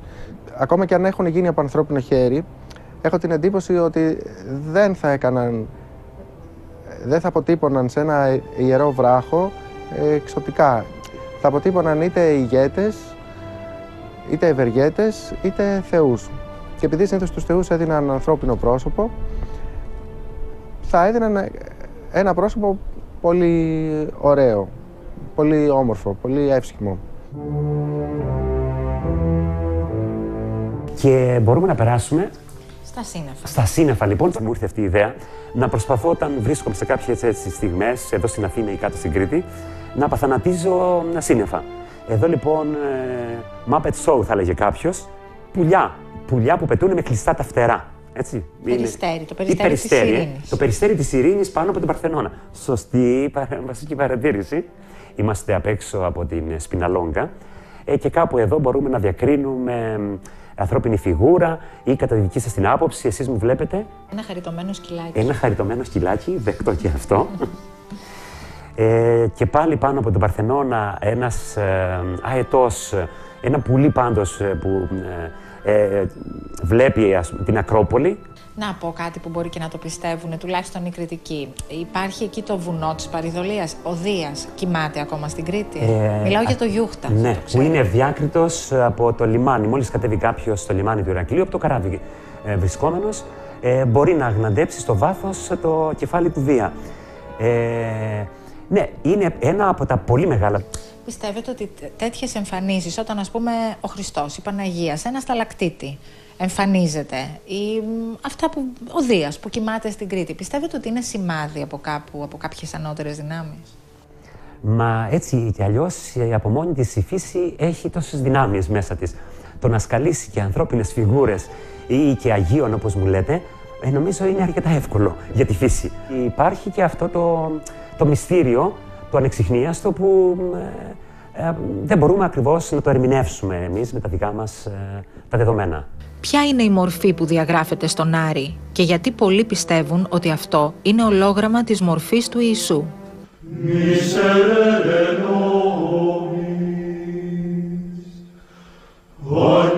Άρης, Κιδωνία 1976 Vitoris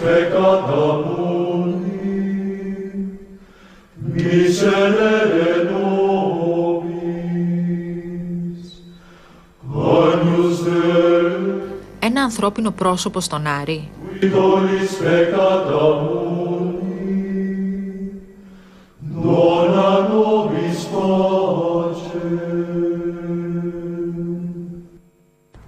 Η εικόνα αυτού του προσώπου, από ψεύτικα χρώματα, δημιουργήθηκε το 1987 στο Τεχνικό Πανεπιστήμιο της Βιέννης στην Αυστρία. Sanctus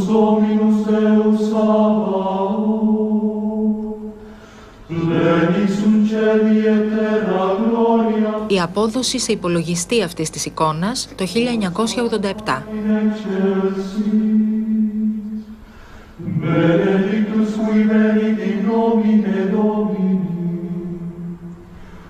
Αξιοσημείωτη ομοιότητα με το πρόσωπο στη συνδόνη του Τωρίνο.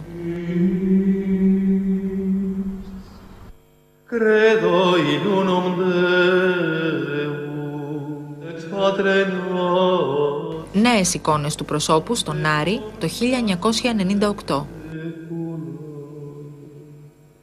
Deum de Deo, lumen de lumine, Deum verum de Deo verum. Σύγκριση της πλευράς των μαλλιών του προσώπου της Συνδόνης με αυτήν του προσώπου στον Άρη. Consubstantialem Patri, per quem omnia pacta Σύγκριση μιας τρισδιάστατης εικόνας του προσώπου της Συνδόνης με το πρόσωπο στον Άρη. descendi de celis, et incarnatus Σύγκριση δύο τρισδιάστατων εικόνων του προσώπου της Συνδόνης και του προσώπου στον Άρη.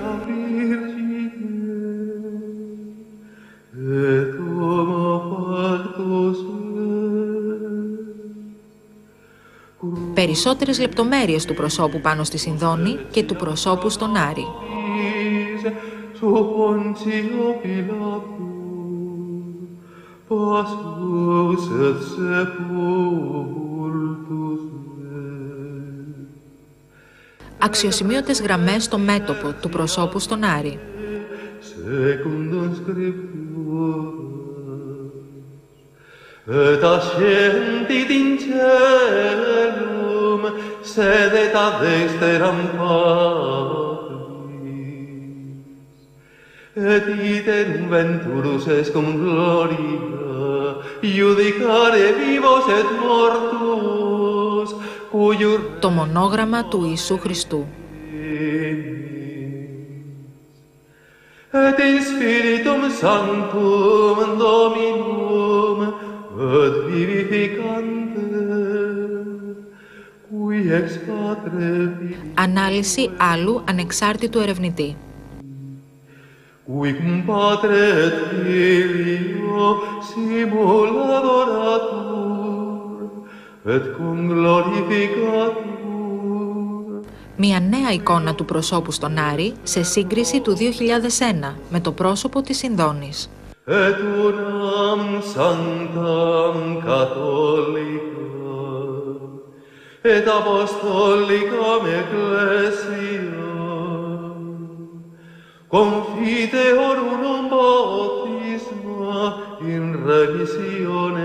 με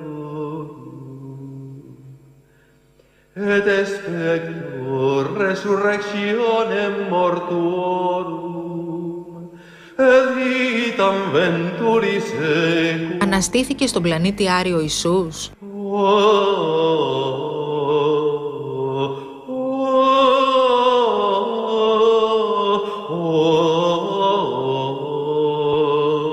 Ή ποιος ήταν ο άνθρωπος στη Συνδόνη του Τωρίνο, έχει στα αλήθεια οριστεί.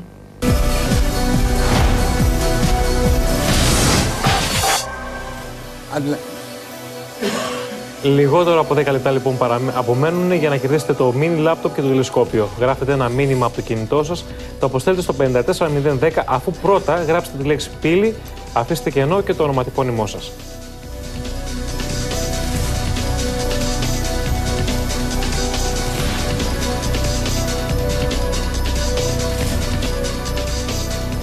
Και βεβαίω το επόμενο Σάββατο έχουμε μια ιδιαίτερη εκπομπή για όλους εσάς. Μοναδικές εικόνες από μεταφυσικές καταστάσεις των ναό της Αναστάσεως, των Ιερουσαλήμων και ένα ντοκιμαντέρ που αποκαλύπτει πολλά για τους Αγίους Τόπους. Δηλώστε τώρα συμμετοχή στο 210 5707 900 από Δευτέρα στο 210 5707 845 και 852, στο fax 210 5707 955 και στο email piles papaki.alter.gr.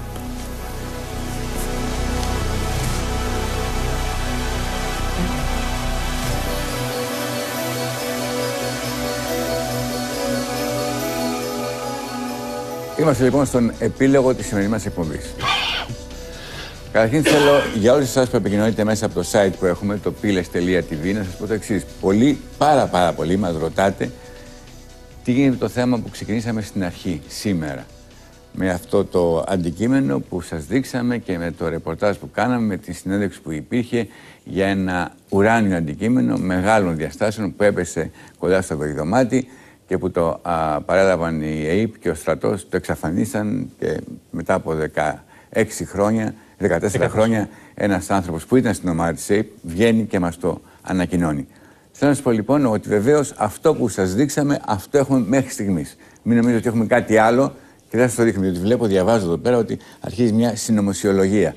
ότι κάτι ξέρουμε και δεν το λέμε, ότι κάτι, Κάτι ξέρουμε και κρύβουμε. το κρύβουμε, Όλα θα τα και ότι δείξουμε δεν μας όσο αφήνουν να μπορεί. σας το πούμε. Δεν ξέρουμε τίποτα παραπάνω από ό,τι σας δείξαμε. Απλά το θέμα μας ήρθε πριν από δύο μέρες. Το μόνο που προλάβαμε ήταν να πάμε στο Δημόκριτο να τους το δώσουμε και να το ξαναπάρουμε για να το δείτε και θα το ξαναπάμε Δευτέρα το πρωί. Δεν προλάβαμε καν να πάμε στην περιοχή αυτή που έπεσε το αντικείμενο. Θα πάμε Δευτέρα, Τρίτη και θα δούμε τι υπή- υπάρχει στην περιοχή αυτή, εάν υπάρχει κάτι μετά από 14 χρόνια. Θα μιλήσουμε εκεί πέρα με κάποιους ανθρώπους που το είδαν και θα έχουμε ένα ρεπορτάζ, φαντάζομαι, το ερχόμενο Σάββατο. Άρα μην νομίζετε ότι είχαμε κάτι και δεν σας το δείχνουμε. Αυτό που είχαμε, σας το δείξαμε. Τη συνέντευξη του ανθρώπου που έζησε το γεγονός και το πλακάκι που είχαμε στα χέρια μας. Από εκεί και πέρα θα ήθελα να παρακαλέσω όλους εσάς ή μερικούς από εσάς να εκφράζεστε λίγο καλύτερα σε αυτό το site, το οποίο το διαβάζουν χιλιάδες άνθρωποι και δεν είναι ωραίο να βρίζετε ή να ανταλλάσσετε μεταξύ σας βομολογίε. Το λέω σαν παράκληση, αν θέλετε να με ακούσετε. Πάμε λοιπόν στον επιλόγο σημαίνει εκπομπής. Ξεκινάμε. Να ξεκινήσουμε λοιπόν από τον κύριο Βελέντζα, μιας και είναι ο επιστήμονας ειδικός νευρολόγος ψυχίατρος. Φαινόμενο λοιπόν παρειδολία και καταστάσεις τι οποίες ζούμε ή νομίζουμε ότι ζούμε. Μπορεί κανείς να εκπαιδεύσει τον εγκέφαλό του να βλέπει αυτό που πραγματικά συμβαίνει και όχι αυτό που η φαντασία μας θα ήθελε τέλος πάντων να δείχνει; Δύσκολο αυτό. Ε, εξαρτάται πάντα και από την ε, ψυχική κατάσταση στην οποία βρισκόμαστε. Εάν είμαστε σε μια χαλαρή κατάσταση, ε, ξύπνη αρκετά, αντικειμενική, ε, μπορούμε να παρατηρήσουμε πολύ καλύτερα και να δούμε λεπτομέρειες οι οποίες θα μας οδηγήσουν σε ένα σωστό συμπέρασμα. Ε, ιδάλλως εξαρτάται με το ε, τι δουλειά κάνει ο καθένας μας, τι έχει μάθει να βλέπει έτσι, και ε, τι περιμένει να δει. Αυτό παίζει ένα τεράστιο ρόλο ε, στο τι θα δούμε. Μάλιστα. Κύριε Κουλούρη. Κύριε Κουλούρη, εσείς είστε που έρχεστε συ- συχνά στην εκπομπή και που μας λέτε ακόμα και σε άλλα θέματα ότι μήπως σας γελούν τα μάτια σας. Ναι, ναι. Δεν γνωρίζουμε σχεδόν τίποτα για τον ανθρώπινο εγκέφαλο και το πώς λειτουργεί. Αλήθεια Ισχύει είναι. και σε αυτή Όχι, την όχι, δεν περίπτωση; γνωρίζουμε. Όχι, δεν, γνω- δεν μπορέσαμε ακόμα να ερμηνεύσουμε πτυχές του εγκέφαλου που βρίσκονται στο κομμάτι των ε, πυλών του ανεξήγητου. Ε, θυμάστε, είχαμε σε κάποια προηγούμενη εκπομπή μιλήσει λίγο για το πρόβλημα των μαρτύρων. Είναι αλήθεια ότι όταν πολλοί άνθρωποι δουν ένα φαινόμενο, ένα γεγονός, όχι ένα φαινόμενο, ένα γεγονός και τους καλέσετε να το περιγράψουν, συχνά έχουμε τόσο α, τεράστιες αποκλήσεις που είναι απίστευτο. Δηλαδή, μέχρι σημείου που λες, μα είναι δυνατόν να δουν 10 άνθρωποι ένα δυστύχημα αυτοκινηστικό και να πούνε ότι φτάνουν ότι δεν το χτύπησε αυτοκίνητο, αλλά το χτύπησε ξέρω εγώ μοτοσυκλέτα. Και όμως αυτό στις έρευνες είναι επιβεβαιωμένο. Αυτό δείχνει ότι πέρα από τις αδυναμίες, τις τεράστιες αδυναμίες των αισθήσεών μας, του καθενός από εμά, που μπορούμε να βλέπουμε πολύ περιορισμένα φάσματα ε, φυσικών μεγεθών, ε, αμέσως στην προκειμένη περίπτωση προστίθεται και η λειτουργία του εγκεφάλου, που είναι μια ε, ξεχωριστή πλέον λειτουργία. Δηλαδή κάποιες πληροφορίες μεταφέρονται και αυτές επεξεργάζονται.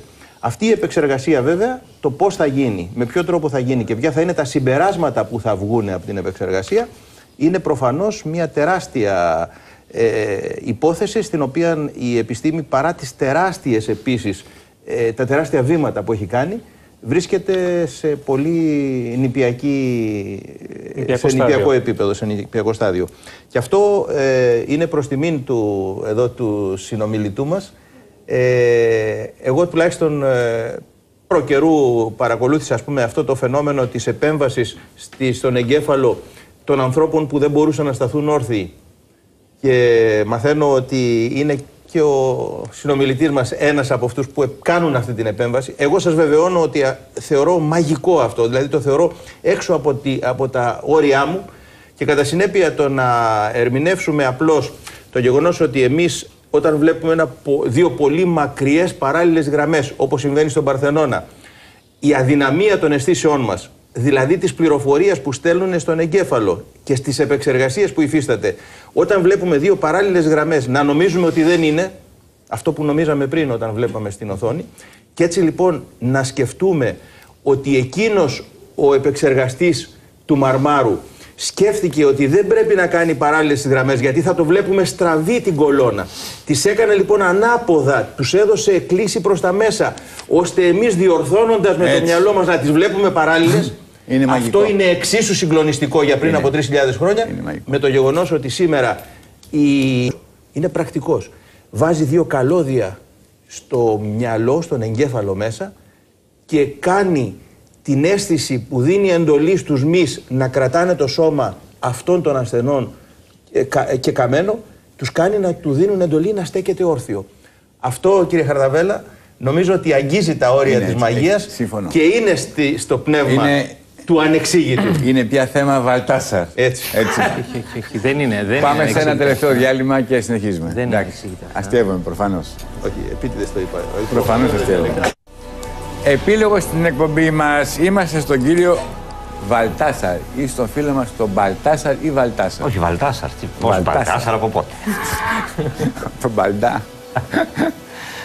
Ε, Για πέμε, λοιπόν. Για πέμε, λοιπόν. Τι ήθελα να σας πω για, για την παριδολία. Είπαμε. Στη- Α, ένα, δεν ξέρω αν το είχατε πει γιατί δυστυχώς δεν είχα δει για την προηγούμενη εκπομπή. Ένα άλλο φαινόμενο της παριδολία είναι και αυτά τα ε, αντίστροφα κακόβουλα μηνύματα που υπάρχουν στους δίσκους. Μπράβο, ναι. Δεν να, να, Ναι, πω γι' μας το αυτό. έχουν- Να πω βε- ως κατάληξη ότι είναι πολύ χρήσιμη η παρηδολία για μας, τους μάγους. Ε, βέβαια. Εκτός θα ήσασταν Εκεί- άνεργοι. Εκεί πέρα στηρίζει τη Κάπως δουλειά. έτσι δείτε το. Εκεί πέρα στηρίζει τη δουλειά. Από εκεί και πέρα όμως θεωρώ πολύ άχρηστο το να έρθει ο Χριστός μετά από 2.000 χρόνια και να εμφανι- εμφανιστεί πάνω σε ένα μπακαλιάρο. Ναι. Είναι τόσο σπουδαίο Σαφώς το και δεν το πρόσωπο υιοθετούμε κάτι του τέτοιο. Χριστού που θα Εμείς- προτιμούσε εμείς- κάποιο πιο σίγουρο, Εμείς πιο φυσικά δεν το πρακτικό υιοθετούμε, τρόπο δεν για το να υιοθετούμε δείξει αυτό, το αλλά Χριστό. πάρα πολλοί πιστεύουν ότι βλέπουν τον Χριστό, την Παναγία, Ναι, σε, ναι. Σε, στο- σε ένα δέντρο, στον μπακαλιάρο, ε, σε μια φέτα καρπούζι, ξέρω εγώ. Ευτυχώς για αυτούς που το πιστεύουν αυτό και πηγαίνουν και βλέπουν θεάματα ταχυδακτηλουργικά Ναι, κτλ. θέλουν- Και, και δυστυχώς για αυτούς που το πιστεύουν αυτό και γυρνάνε σε medium. και Εγώ να τους πιστεύω ότι εξηγήσουν θέλουν να όνειρο. το βλέπουν αυτό. Δηλαδή θέλουν να το βλέπουν και το βλέπουν. Ναι, φυσικά. Αυτό είναι το ζήτημά του. Φυσικά, ναι. Πάμε και στον φίλο το, μας να τον το, το τελευταίο. να το θέλει κάποιος από μόνος του να το δει, δεν νομίζω ότι είναι κακό. Κακό είναι να το εκμεταλλευτούν κάποιοι για διάφορους λόγους. Έχει κολλήσει με τον Χριστό, έχει φάει κόλλημα τρελό. Α τον βλέπει άλλος. Από τη στιγμή που υπάρχει φως, υπάρχει σκιά, μπορεί να δημιουργηθεί οτιδήποτε. Οτιδήποτε και να μου το δείξεις και να μην το έχω δει και να το δω. Το δέχομαι. Δεν πάει το μυαλό μου ότι είναι κάτι το παράξενο. Βλέπω αυτό που μου δίνει το φως και η σκιά. Από τη συγκεκριμένη γωνία. Αν, αν αλλάξει λίγο η σχέση, άλλαξε αυτό. Αυτή είναι η ιστορία. Μάλιστα. Πάντως, Λοιπόν. ως φωτογράφος, ε, πρέπει, να ξέ, ε, πρέπει να ξέρεις ότι έχει γυριστεί ένα από τα καλύτερα έργα με το φαινόμενο της παρηδολίας, έτσι, το blow-up. Το blow up. Έτσι, Μπράβο, ναι. μπράβο, Αυτό μπράβο. είναι- Μην με κοιτάζετε, εσείς είστε μοιράκια, δεν το έχετε δει το blow up. εγώ προσπαθούσα τώρα Μιλάμε να πριν δω από ποιο 20 είναι. χρόνια, 25 περίπου. Ε. David Hemmings, Vanessa Redgrave. Δεν το έχετε δει, είστε πιτσιρίκια εσείς. ε. λοιπόν, πέστε μου πρώτον το νούμερο των τηλεθεατών που συμμετείχαν στην κλήρωση για το λάπτοπ και το 2.752 2.752 τηλεθεατές από το σπίτι τους συμμετείχαν στην κλήρωση για ένα λάπτοπ και για ένα τηλεσκόπιο. Πέστε με ένα νούμερο εσείς κύριε Βελέτζα από το 1 μέχρι το 2000, πώς είπαμε; 752. 752. 1832. 1832. Τον κωδικό αυτόν σας δίνουμε. 1832. Βρείτε σε ποιον ανήκει αυτός ο κωδικός να πούμε ότι κέρδισε το δώρο. Το, το τηλεσκόπιο. Πέστε μου κύριε Κουλούρη ένα νούμερο. 2.751, τον πρώτο τελευταίο. Επειδή κάθισε μέχρι αυτή την ώρα και περίμενε για. 2.000 λοιπόν Τελευταίο όμως τον 751. άφησα τα απ' έξω. Γιατί δηλαδή Την αυτός άλλη τι φορά ήταν. θα πω τον τελευταίο. 2.751. Για το mini Βρείτε ε, επίσης για το λάπτοπ. Ναι, Έτσι. σωστά. Τώρα, να έρθουμε εδώ πέρα στους φίλους μας. Ο κύριος Βαλτάσαρ να μας πει ένα νούμερο από το 1 μέχρι το 27, ο οποίος κερδίζει ένα πάρα πολύ ωραίο βιβλίο του Σάλμαν Ρουσντί. Είναι αυτός ο Ινδός, ξέρετε, που γράφει τα διάφορα περίεργα και τον κυνηγάνε τώρα οι, οι μουσουλμάνοι. Τα παιδιά του Μεσονικτίου, βραβείο Best of the Booker, είναι από τις εκδόσεις ψυχολιού το δώρο για τους καλεσμένους μας. Το 17 λοιπόν. Το 17. Το 17 είναι ο κύριος Δημήτρης Μποτζιόλης. Μποτζιόλης. Σάλμαν Ρούζη, τα παιδιά του Μεσονικτίου, εκδόσεις ψυχολιός. Και εσείς πέστε μου ένα νούμερο από το 1 μέχρι το 27. 7. Το 7. Το 7 είναι η κυρία Γεωργία Καμπιώτη. Εσείς. Εσείς κερδίζετε δύο βιβλία. Α, βλέπετε λοιπόν. Φυλακές Άγγελοι και πνευματικοί καθοδηγητέ από τις εκδόσεις Διόπτρα και το πέρασμα Ο θάνατος δεν είναι το τέλος. Εκδόσεις Διόπτρα. Παρακαλώ. Να είστε καλά. Πετε μου σε Λοιπόν, ποιους είναι τα έχουμε- νούμερα. Έχουμε τα ονόματα. Πες μου, Γιάννη. Ο πρώτος τυχερός είναι ο κύριος Καπραβέλος. Κερδίζει βεβαίως το τηλεσκόπιο και το τηλέφωνο, το τηλέφωνο τελειώνει στα τέσσερα τελευταία νούμερα που είναι 57-53. Όσον αφορά το λάπτοπ, είναι ο κύριος Σπετσιώτης. Τα τέσσερα ψηφία του κινητού του τελευταία είναι το 48-25. Είπαμε ο κύριος Καπραβέλος και ο κύριος Σπετσιώτης είναι οι αποψινοί νικητές για το λάπτοπ και το τηλεσκόπιο. Κύριε κύριε, το πέρασμα στο στη σημερινή μας εκπομπή. Θα είμαστε και τώρα Σαββατό μαζί σας, πάλι γύρω στις 12. Είναι η τελευταία εκπομπή που θα βγούμε τόσο αργά. Γιατί μετά το Πάσχα θα, είμαι 11, θα είμαστε 11 η ώρα κοντά σας. Για όλους εσάς που το διαβάζω στο site, που από τώρα και στο εξής έχει πάρα πολλά τεστ τέτοια. Σήμερα λέγα, λέτε γιατί ε, μας τη σπάσατε με το θέμα της ε, παρηδολίας, άρα δεν μας αφήσατε να δούμε περισσότερο το θέμα το άλλο από το διαστημόπλαιο που ήρθε ή δεν ήρθε. Σας είπα ότι δεν έχω τίποτα να σας δείξω Και εν πάση περιπτώσει, σήμερα το βράδυ είπαμε λιγάκι να χαλαρώσουμε. Γιατί έχουμε να ρίξουμε πάρα πολύ σοβαρά πράγματα. Θα τα πούμε το ερχόμενο Σάββατο. Να είστε όλοι σας καλά. Καλή νύχτα και σε εσάς που είστε κοντά μας και ευχαριστώ πολύ που είστε κοντά μας. Και σε εσάς και σε εσάς και σε Καλό εσάς. σας βράδυ και από εμάς. Καλή σας μέρα. Γεια σας. Γεια σας.